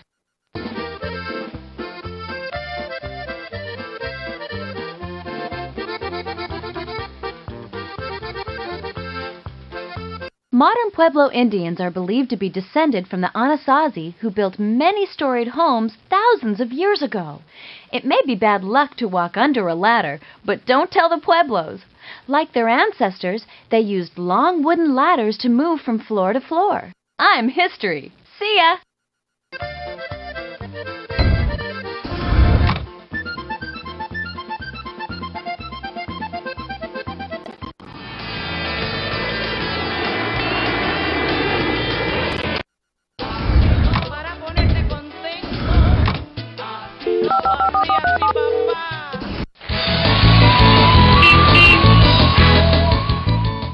I hope you've got your passport handy because we're going on a tour of Ellis Island and New York City.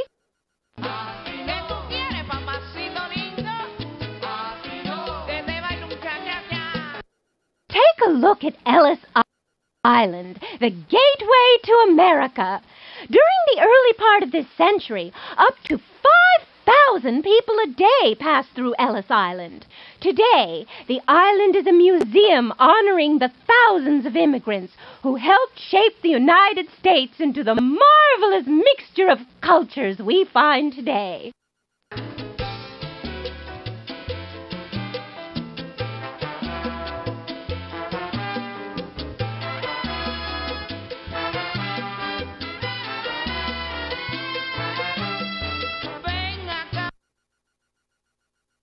Nestled among those buildings over there is Wall Street, the financial capital of the nation. Named for an earthen wall built by Dutch settlers centuries ago, Wall Street is now the home of the famous New York Stock Exchange and many leading financial firms. I hope that raises your interest. These skyscrapers are the twin towers of the World Trade Center, a focal point of international business. The towers stand among the tallest in the world. Each skyscraper has thousands of windows, 104 elevators, and lots and lots of business people. The perfect place for a socialite like me. Manhattan may have been the best bargain in world history.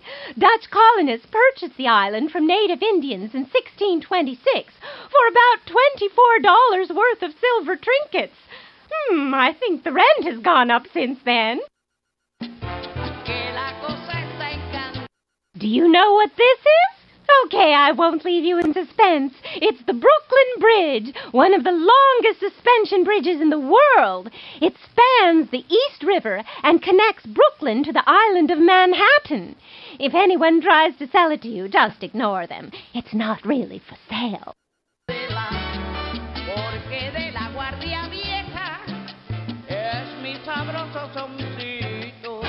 This magnificent cop is the Statue of Liberty, completed in 1886.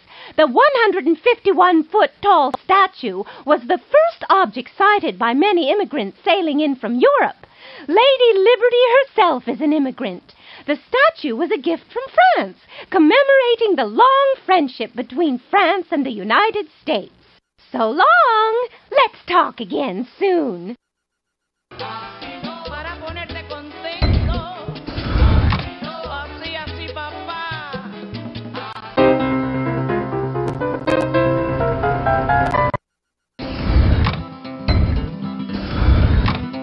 Thank you.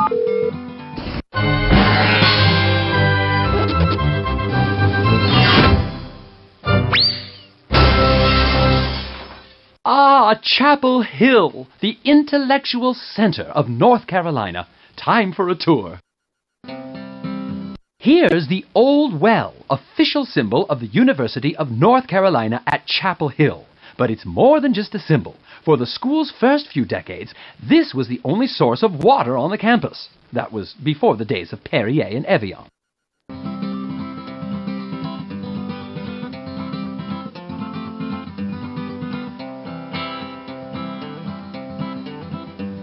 Not far from here is another sort of learning center, the Morehead Planetarium. Scientists and astronauts go to Morehead to learn their way around outer space. When you're going to travel that far, it pays to learn about your destination in advance. Ah, the Davie Poplar. Now, legend has it that founder William Davie rested under this very tree back in 1793 when he was picking the site for Chapel Hill University. Aside from starting the nation's first state supported university, Davie was also one of the drafters of the U.S. Constitution. Busy man. No wonder he needed to rest.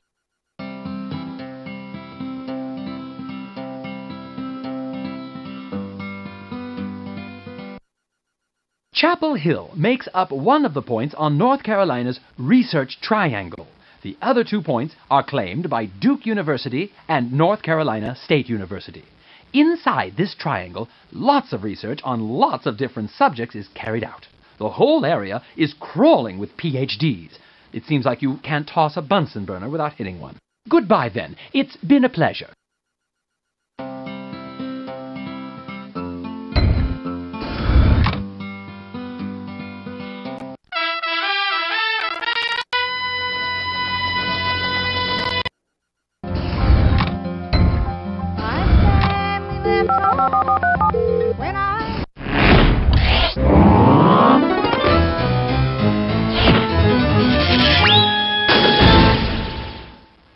Greetings.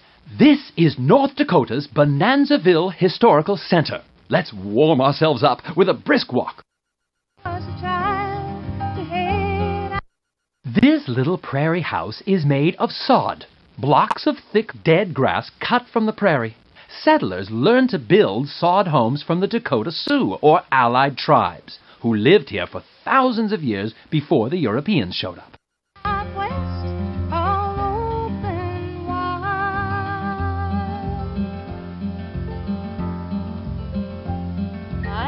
The Haberstad family moved into this log cabin back in 1874. They were immigrants from Norway.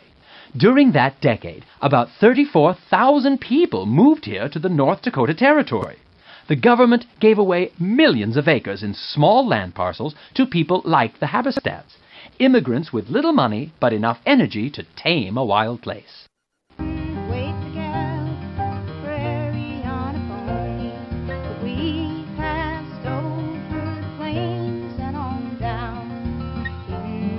Here in Bonanzaville, nearly all the buildings are old, but the town itself is new. The founders took historic buildings from all around North Dakota and moved them here, reconstructing a typical pioneer village. Of course, real pioneer villages didn't have tour buses parked just outside of town.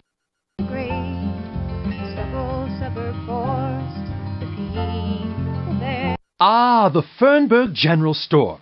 Now, if you were a rancher around the town of Osgood and you needed 50 pounds of coffee, a barrel of nails, or a bottle of bull medicine, this was where you got it. Oh, and I'm pretty sure they didn't take credit cards back then. All hail my dreams jest. For my This house came from Fargo, North Dakota, just up the road. It was the town's first permanent building. It may not look like much, but this little place was home to a pioneer family and the local jail and a hotel.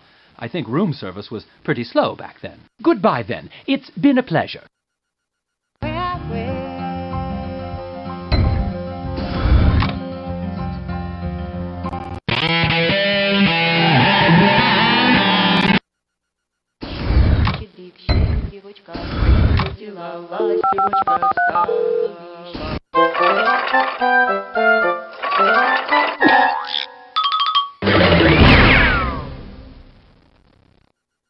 Ah, yes, University Circle in Cleveland, Ohio. I quite like this town, and I'm sure you will too. See that pointy church spire behind those trees? Many Clevelanders call it the oil can church because it's shaped like an old fashioned oil can. That nickname may seem a bit informal for a church, but that's Cleveland for you. Open minded and tolerant, especially about religion. There's a wide range of different religious and ethnic groups here, so tolerance is a very sensible policy. Самовички покотилися, ягнички народились, тебе товар весь хороший, будеш маті, весь хороший, тебе товар весь хороший, будеш маті. Ah, the Cleveland Museum of Art. Now you could stand on these steps and survey all of surrounding University Circle schools, museums, lakes, and gardens. Or you could wander inside and see 30,000 works of art spanning history and coming from places around the world. A tough choice, but either way, you can't lose. This pensive fellow is The Thinker, a replica of Rodin's famous original. The statue's left side was damaged during the 1960s by demonstrators protesting the Vietnam War. Instead of fixing it, the city decided to leave it broken as a reminder of the national turmoil of the time. Hmm, what would Rodin have thought? Біженька чорноброва, почні грошей то полова, ти біженька чорноброва, щедрик, щедрик, щедрівочка, прилетіла, ластівочка стала, щебетати, господаря викликати. Cleveland's loudest landmark is the Rock and Roll Hall of Fame, a new museum dedicated to the history of rock music. No one is exactly sure where the name rock and roll came from, but it was first popularized by a Cleveland disc jockey named Alan Freed back in the early 1950s. The music is still quite popular, or so I'm told. Goodbye then. It's been a pleasure.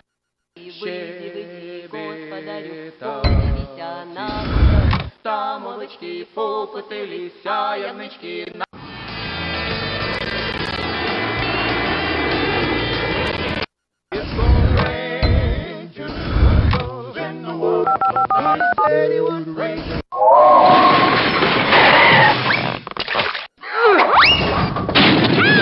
Okay, let's tour Indian City, Oklahoma.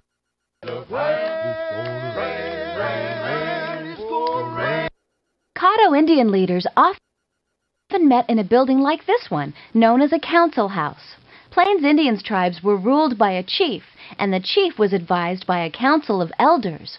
In some tribes, it was customary not to make a decision until everyone had spoken. So keep your comments brief, please.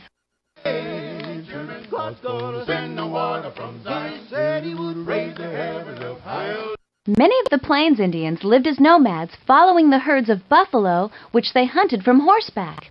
They often dried the meat by hanging it in the sun on racks like these. Anyone hungry? It's gonna rain, rain, rain. Well, well, then stop still. uh, Listen to me. It's gonna walk, walk down by the sea. It's gonna head the east. Some natives, like the Caddo tribe, lived a communal lifestyle, meaning they shared everything. Several families lived together in one large house made of poles topped by a grass roof. Evil sons of man declare that he would destroy the land. It's gonna call, don't. Only a few Indian tribes are native to Oklahoma. In the 1830s, many Indian tribes were forced to leave their native lands and relocate here in Oklahoma. Their forced march became known as the Trail of Tears due to the great hardships suffered on the long journey. Stop. He's gonna look here, Noah. Build me an ark. Want you to build it. Archaeologists, like yours truly, determined that native Indian tribes have lived on the Great Plains for about 6,000 years. Here at Indian City, you can see recreations of seven native villages and watch traditional dances and ceremonies. But be careful, you might get a sudden urge to hunt buffalo. I'm History. See ya!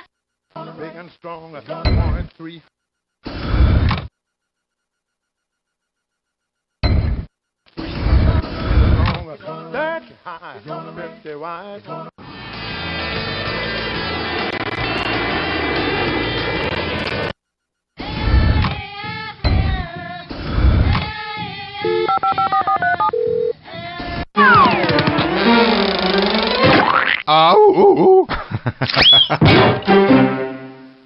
we'll start our Oregon exploration here in Washington Park, just outside Portland. Come on, let's look at the landscape.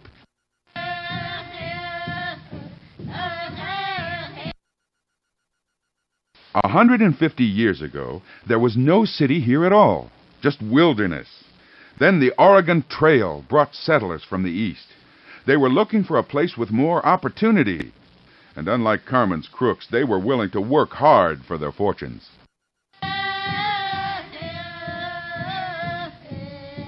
Here's what makes Washington Park smell so good. The International Rose Test Gardens. You're looking at 10,000 rose bushes of 400 different varieties.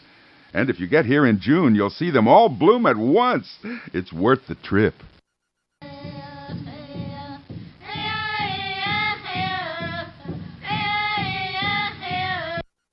It's not summer in Portland without a show at the Washington Park Amphitheater. Oregonians love outdoor theater. In the mountains south of here, the Ashland Shakespeare Festival has four stages full of drama and comedy. Fine culture in the midst of beautiful nature. It's a perfect combination, if you ask me.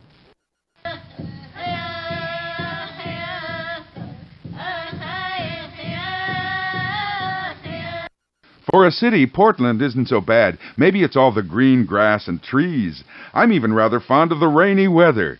If you want to stay dry in Oregon, you have to head east to the arid Columbia Plateau. Here on the western side of the state, wet is what you get. Oregon harvests more lumber than any other state, and that's why the World Forestry Center is here. Pine forests cover half the state, and preservationists like me make sure that the wood is carefully harvested, not needlessly stripped.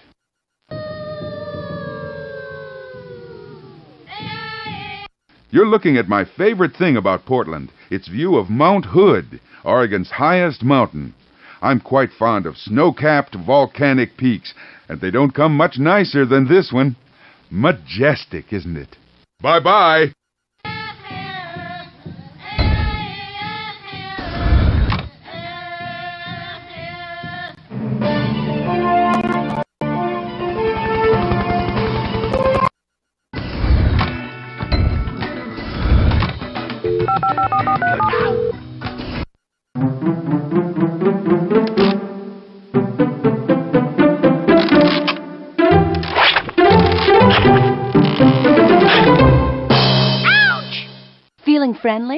Let's visit Philadelphia, the city of brotherly love.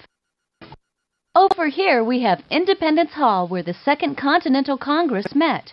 Once called the State House, this historic building witnessed the birth of a new nation. Look out while you're your stuff. Look out, baby. You can't help but love Philadelphia. The word is Greek for city of brotherly love. Its Penn was a Quaker, but it was later residents who really shook things up during the Revolutionary War.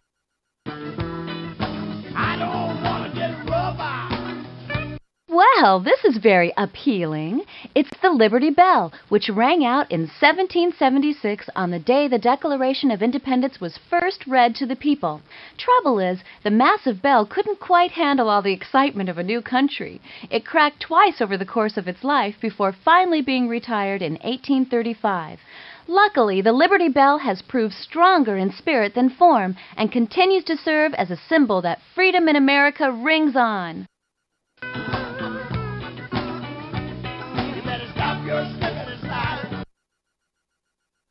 Benjamin Franklin's house no longer stands here in Franklin Court, but Franklin's influence can still be felt. He helped write the Declaration of Independence and pioneered ideas such as fire departments and streetlights. And as the first U.S. postmaster, Old Ben definitely put his stamp on history.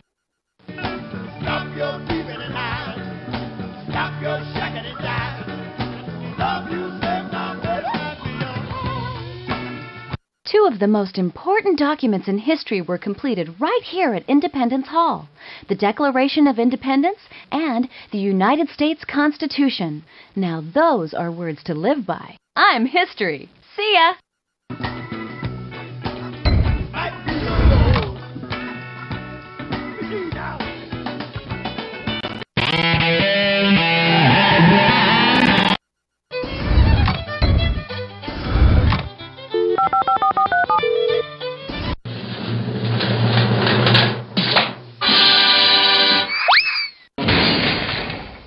Time for a tour of Touro Park here in Newport, Rhode Island.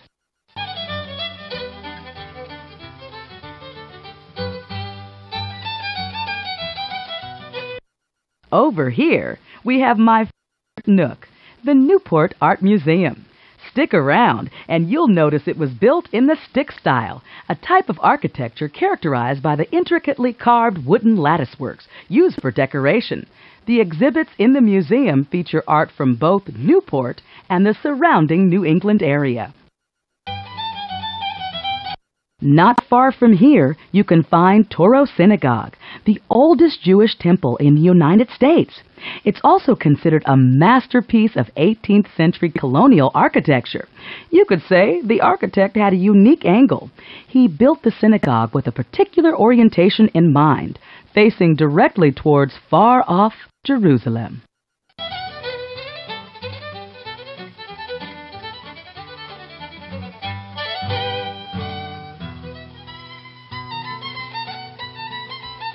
This is charming Touro Park, named after Isaac de Touro, who arrived in Rhode Island in 1758. And I can understand why he came here. Many historians claim that charming Newport was America's first resort town.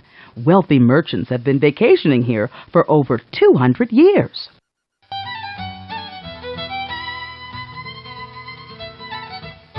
Two statues in Touro Park represent two different kind of pioneers who both made their start in Newport. Right here we have Commodore Matthew Perry, the explorer who opened up trade between Japan and the world. Over at the Channing Memorial Church, the nearby building with the dramatic spire, you'll find the statue of William Ellery Channing, the leader of the Unitarian Church. If you see people milling about this old structure, known as the Old Stone Mill, they're probably looking for kernels of truth about an old rumor. You see, many people believe that the mill is a remnant of an ancient Viking tower. No one has ever confirmed the legend, but many historians think that the structure was actually a windmill built by a descendant of Benedict Arnold, the infamous American traitor. See you later.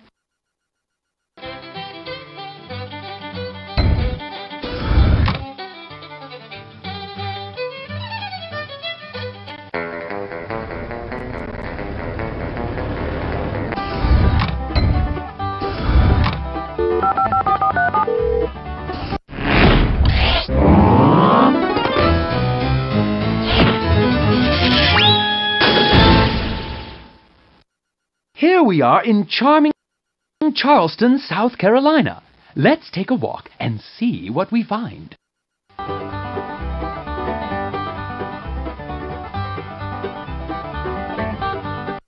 South Carolina's first English settlers landed here in Charleston, or Charlestown Landing as it was called back in 1670. In its first 100 years, this place grew from a poor little village to a rich, ritzy city. If you made a fortune from a plantation, you spent it on a big mansion in Charleston. The town is still rather elegant today, wouldn't you say? Out there in the distance lies Patriot's Point, a floating naval museum. There you can tour four huge docked vessels a submarine, an aircraft carrier, a destroyer, and a nuclear powered merchant ship. Most of these boats were designed for use in warfare, and they cost many millions to build. That's the price America pays to defend its freedom. I'd take you on an onboard tour myself, eh, but I, I get woozy just standing on the dock.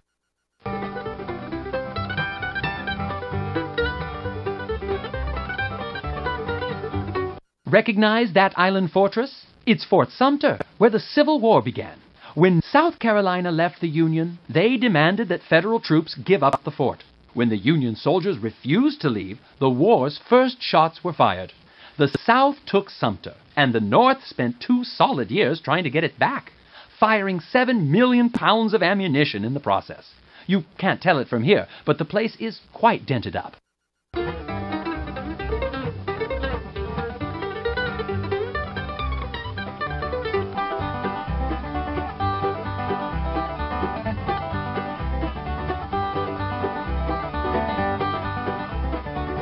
This lovely park at the peninsula's tip is White Point Gardens. Most folks call it the Battery, after the battery of cannons that line the water's edge. From those very cannons, the Civil War's first shots were fired across the water at Fort Sumter. It's a much quieter place now, and I, for one, prefer it that way.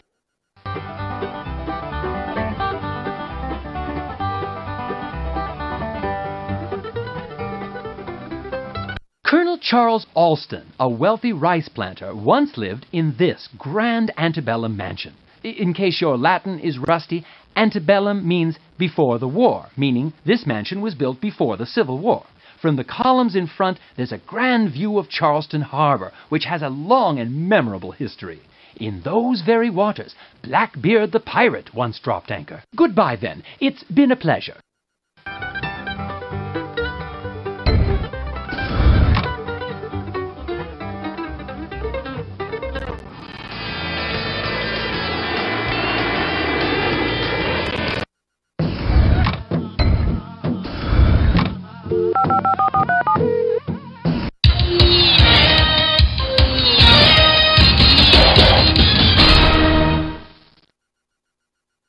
South Dakota has many dramatic vistas, but Mount Rushmore stands at the head of the class. Big head, that is. Did someone say vertigo? The Iron Mountain Road on the opposite side of Mount Rushmore is quite a heart stopping adventure. It zigzags up steep slopes and navigates several tunnels and bridges before reaching the top of the mountain, over 500 feet above us. You think building the sculpture was hard? Just getting up there is an engineering feat.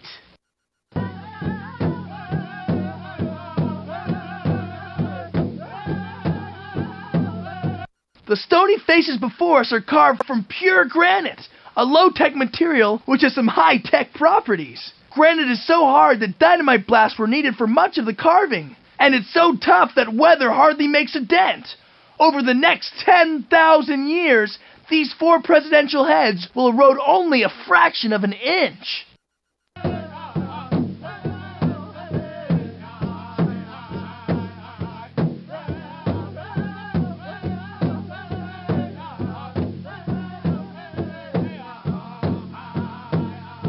You're looking at the shrine of democracy, the faces of four famous presidents carved into the side of Mount Rushmore, here in the Black Hills of South Dakota. This famous national monument, created by sculptor Gutzon Borglum, is a memorial to the democratic spirit of the United States and dedicated people who kept the spirit alive. The sculpture took over 14 years to complete, a real act of dedication in itself. From this distance, the heads on Mount Rushmore don't look too big. But stand closer and you'd realize they're simply huge. George Washington on the left has a head over 60 feet high. The noses of Jefferson and Roosevelt are at least 20 feet tall. And to honest Abe Lincoln, his eyes are about 11 feet wide. Bye for now. Feel free to call me back for more techno facts.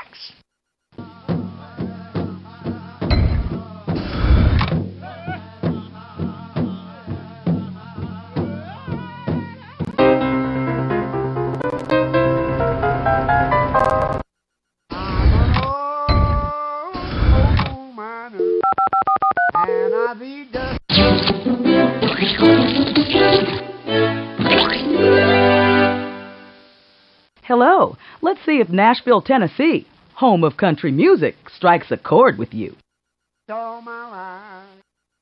One of Opryland's many attractions is the General Jackson Showboat Review, a floating musical extravaganza on the world's largest showboat. It's a spectacle that really makes a splash. I'm too old to learn a new trade. You ain't nothing but a hound dog if you don't know that Elvis Presley lived right here in Tennessee in a mansion called Graceland. Presley was more than just a great performer. His unique blending of different musical styles changed rock and roll music forever. What can I tell my wife? Went into my place this morning and I got down on my knees. I couldn't hold no call. In Tennessee, you can visit the Grand Ole Opry. That's Opry, not opera, so don't expect anyone to start singing in Italian. The Grand Ole Opry has been performing country music before a live audience since 1925. It started in the famous Ryman Auditorium in downtown Nashville, but has since moved to Opryland. The most famous names in country music have performed at the Grand Ole Opry, including Roy Rogers, Johnny Cash, and Garth Brooks. So, if you want to be a country music star, polish your boots, tune up your guitar, and head on out to the Opry. See you later. that on.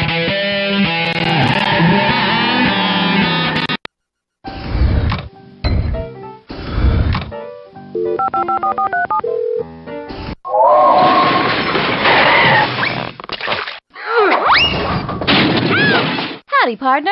Let's mosey through the Alamo here in San Antonio.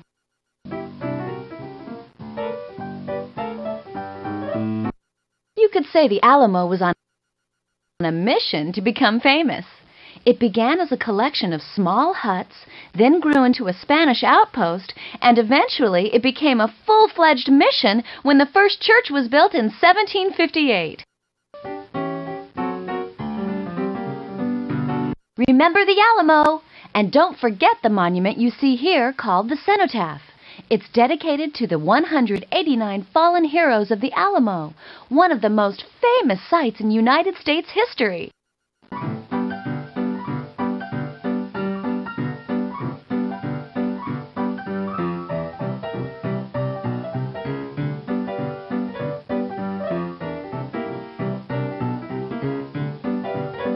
Texas is the largest of the contiguous 48 states, which is good because everybody seemed to want a piece of it. Texas was colonized by Spain, then belonged to Mexico, then became an independent republic. Phew! Finally, it joined the United States in 1845 as the 28th state in the Union. One of the Alamo's best known heroes was Davy Crockett, who was a member of Congress as well as a soldier. He was from Tennessee, not Texas, but he had sworn to fight tyranny wherever it appeared. So he rode to the aid of the Alamo. Now that's courage! When Mexican dictator Santa Anna demanded surrender, the Alamo's defenders answered with a cannon shot. For 13 days, the small band of Texans defied an army of 4,000 until the last man fell. Six weeks later, Texan reinforcements, led by Sam Houston, defeated the Mexican army, shouting, Remember the Alamo as they attacked. I'm history. See ya!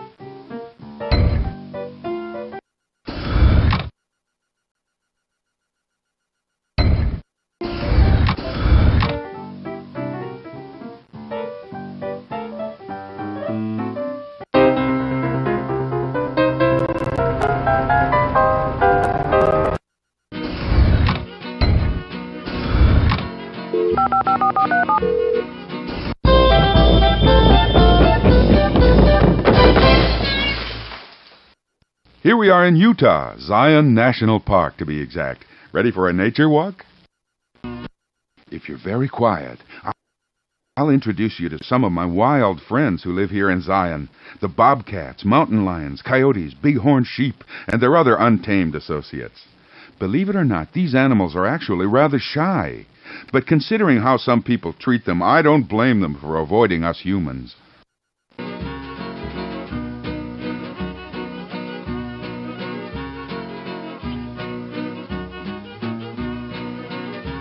Here's Zion Lodge, the only place in Zion National Park where you can rent overnight accommodations. Clarence Underwood designed it back in the 1920s.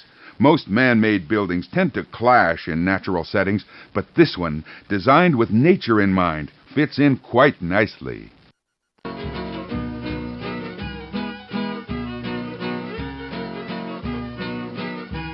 Long before Zion was a canyon, it was a swamp. Then the weather got drier, and layers of sand blew in and mixed with the mud and minerals. Then the shifting earth raised up all those caked layers of sand and dried mud thousands of feet above sea level. Finally, the Virgin River started carving it away, little by little, till it looked like this. Pretty cool, huh? I could go on all day about the geology. Watch your step while you're walking here. The surrounding land is made of sedimentary rock, which could probably also be called sandimentary rock since it contains lots and lots of tightly layered sand. Either way, one thing's for sure sandy rock is slippery rock. I've taken a few spills in this park, and I'd hate to see you do the same.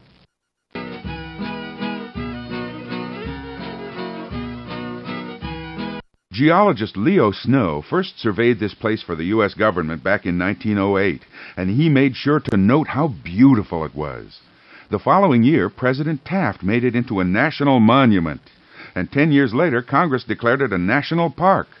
Some things are definitely worth preserving in their natural state. Bye bye!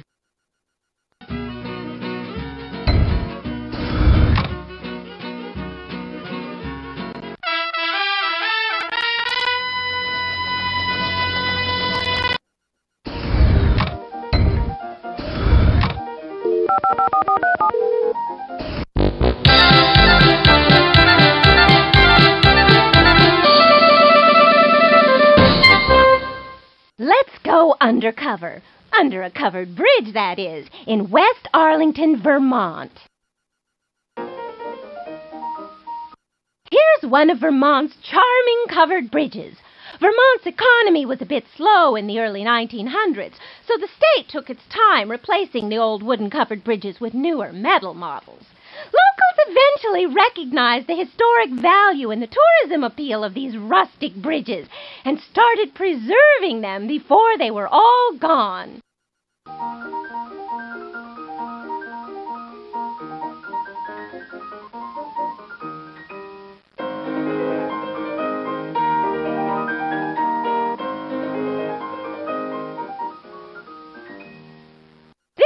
Building is the Inn at the Covered Bridge. It was built as a tavern in 1792, and its front yard was used as a practice field by Revolutionary War hero Ethan Allen. Later, it served as the home for another type of American hero, artist Norman Rockwell. How's that for some inside information?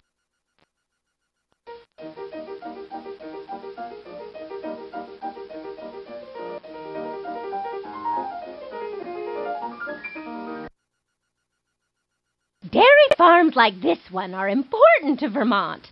The state produces millions of gallons of milk every year. That fills a lot of cereal bowls. It also makes for a lot of ice cream. Just ask a certain Vermont ice cream company famous for its wacky flavors. Hmm, this may sound sappy, but I dearly love maple syrup. In the spring, Vermonters tap maple trees for their sap, which is boiled down to a sugary liquid. Isn't that sweet? White frame churches like this one are typical in the small towns of Vermont. You can usually find them on the main street, also called the village green. Their rural charm and elegance may make other buildings, well, uh, green with envy. So long! Let's talk again soon. Thank you.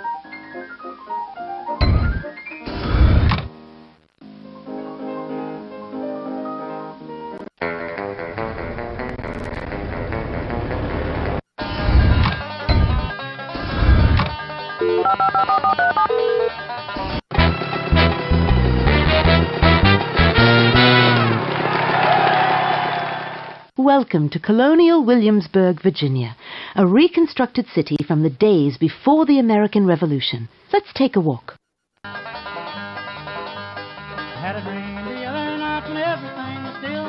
Thought I saw Here's the stately home of George Wythe, a famous lawyer and judge who was the first Virginian to sign the Declaration of Independence. Wythe was Thomas Jefferson's mentor and greatly influenced Jefferson's ideas about law, politics, and government. And just like his student, Wythe had great taste in big brick houses.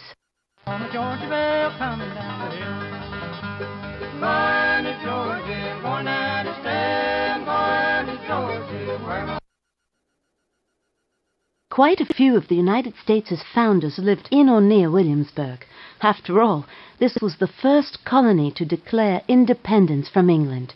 Richard Henry Lee, Patrick Henry, Thomas Jefferson, George Washington, and other founding fathers called Virginia home.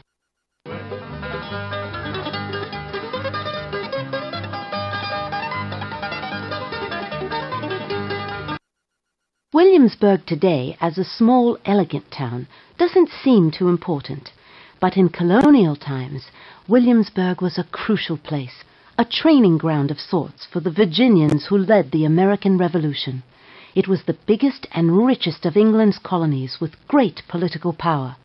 Unfortunately for England, all this power and wealth eventually convinced the American colonists that it was time to start controlling their own fate independently of England.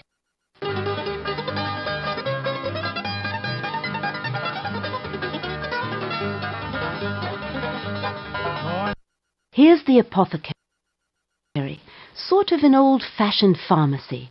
Dr. William McKenna worked here. If you needed a medical procedure, say leeching or bloodletting, he was the man to see. It wasn't a great idea to get sick back then. Atlanta just to look around. Things don't suit me if I'm in town. Georgie, born at Here's the governor's palace. Before the Revolution, England's king sent his governor here to rule the colony. But after gaining their independence, Virginians ruled themselves, and one of the first things they did was move the capital from Williamsburg to Richmond. Well then, until we meet again.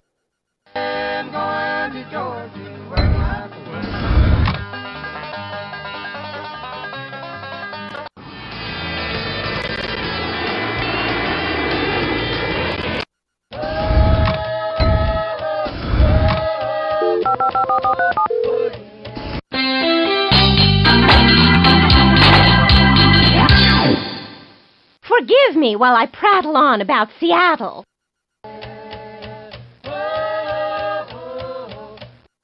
Awnings like these are common in Seattle, where rain clouds are a familiar sight. Moist air blows in from the nearby Pacific Ocean, frequently showering rain on the city. The rainy season can sometimes last for ten months out of the year. Now, where did I put my umbrella?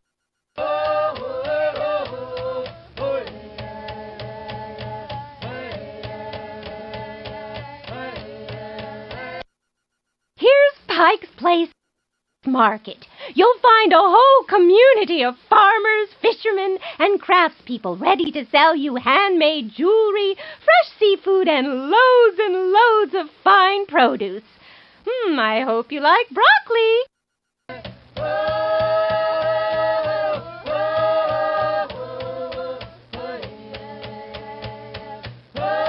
Seattle, Washington is home to the world famous Space Needle, a 600 foot high tower that was built for the 1962 World's Fair by architects who had a point to make.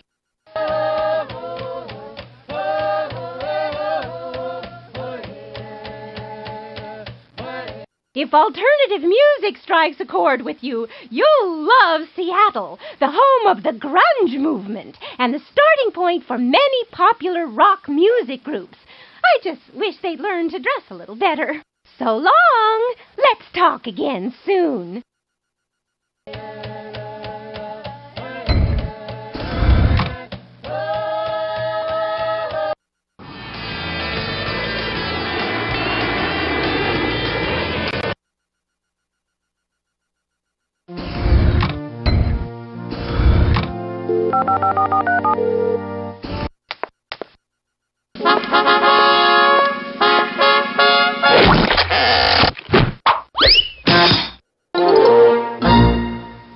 Welcome to Washington, D.C. The capital awaits us, so let's explore.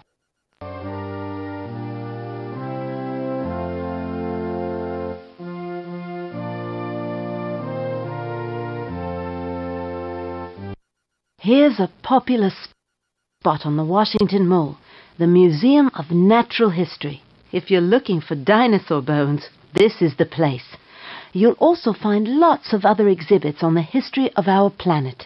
Will you find a crook? That I can't say.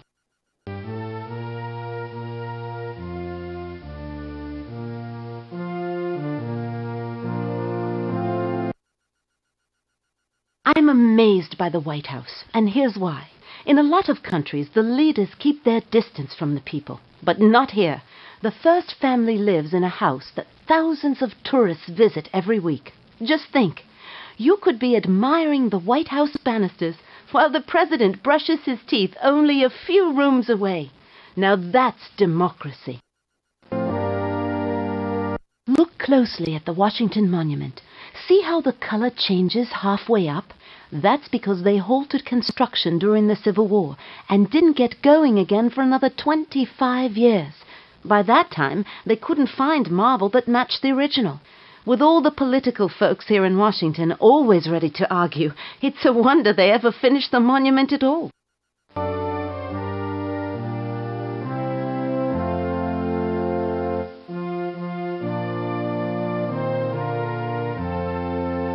There's no king in Washington, D.C., but here's the castle.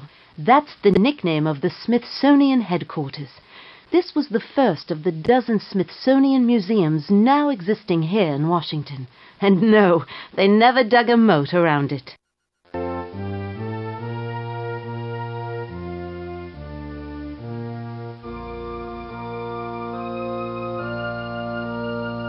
Washington wouldn't be the capital without a Capitol building, and here it is. Under that dome, you'll find senators and congressmen, both Republican and Democrat. These are the men and women who make the laws of the USA. Your job, Gumshoe, is to catch the thieves who break those laws. Well then, until we meet again.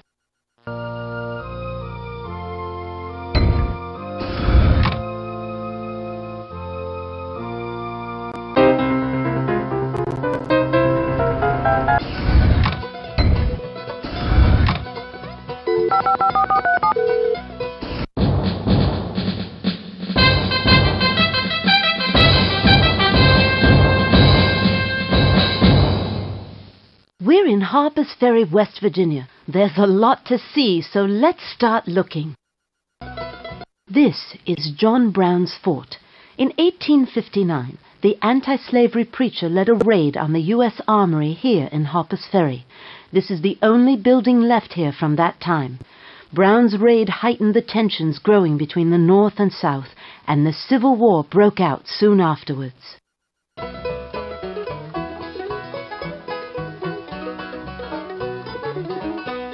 Before 1861, there was no state called West Virginia. But when Virginia split from the Union at the start of the Civil War, the people in its western counties decided to separate from Virginia and join the North. For a while, they called their state Kanawha, but the name didn't stick, and West Virginia soon became the new state's official name.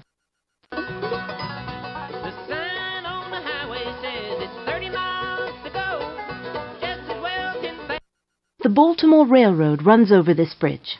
Before the Civil War, those tracks brought prosperity to Harper's Ferry. It takes people and commerce to make a city grow, and that's exactly what the railroad carried into town.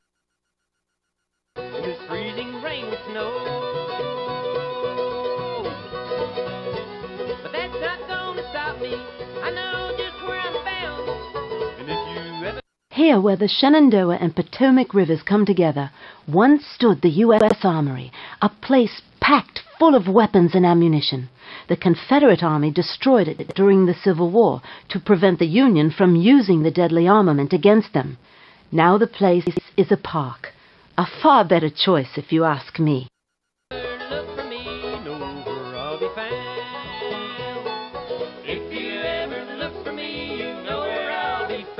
Up until the 1860s, Harper's Ferry was a big, bustling port with factories and lots of people.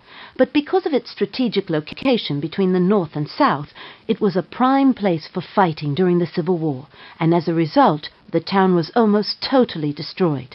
It never grew back into a big city, and I hear that's just fine with the local folks who like it quiet. Well then, until we meet again.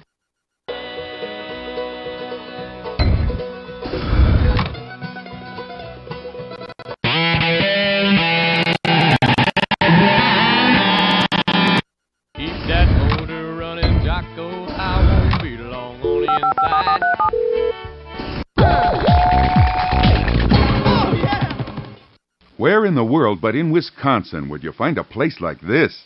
Nowhere, that's where. Let's explore the Freshwater Fishing Hall of Fame. If you There's the Wisconsin State Fish, a type of northern pike called the muskellunge. Of course, that's not a real muskie. It's a four-story building shaped like one, with an observation deck in its mouth. If that were real, it would be swimming in a freshwater lake, and it would be slightly smaller. Shut the motor off my luck, the battery die. Oh. No, you're not seeing things. That's a really big bass made out of fiberglass. Wisconsin's fishermen love nothing more than to sit in bass boats on lakes up north and troll for these wide-mouthed babies. They prefer the non-synthetic type, of course. I'm told fiberglass isn't very tasty.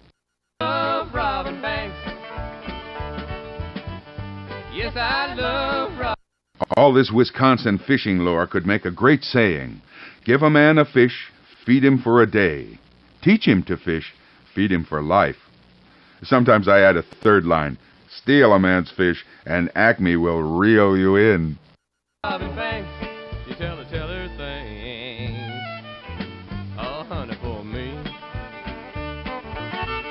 You don't find huge fish statues everywhere in Wisconsin, just here in Hayward at the Freshwater Fishing Hall of Fame. A hundred thousand people a year see these exhibits mounted trophy fish, big outboard motors, even hooks that have been pulled out of fishermen. I bet you didn't know fishing could be so exciting. Bye bye! Keep that motor running, Jocko.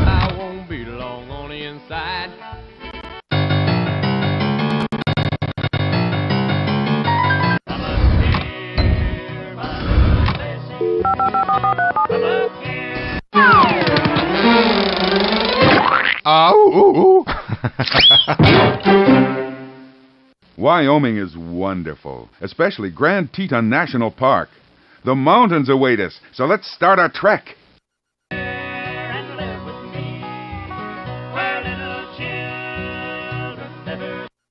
One of my favorite things about about this place is the people, because there aren't very many. In fact, even though it's the ninth largest state in area, Wyoming has a smaller population than any other U.S. state.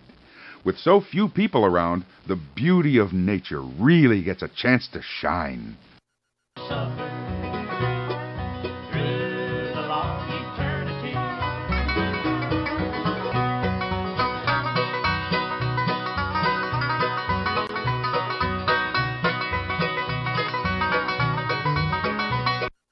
Of all the different ranges in the Rocky Mountain system, the Tetons are the youngest. That's part of the reason they're so tall, jagged, and angular. The wind and weather hasn't had time to wear them down yet in a process called erosion. In a few million years, they'll be rounder, like me.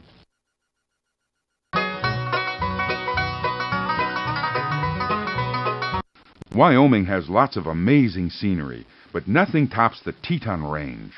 Those 13,000 foot peaks are amazing from every angle, and they hide a wealth of coal and other minerals.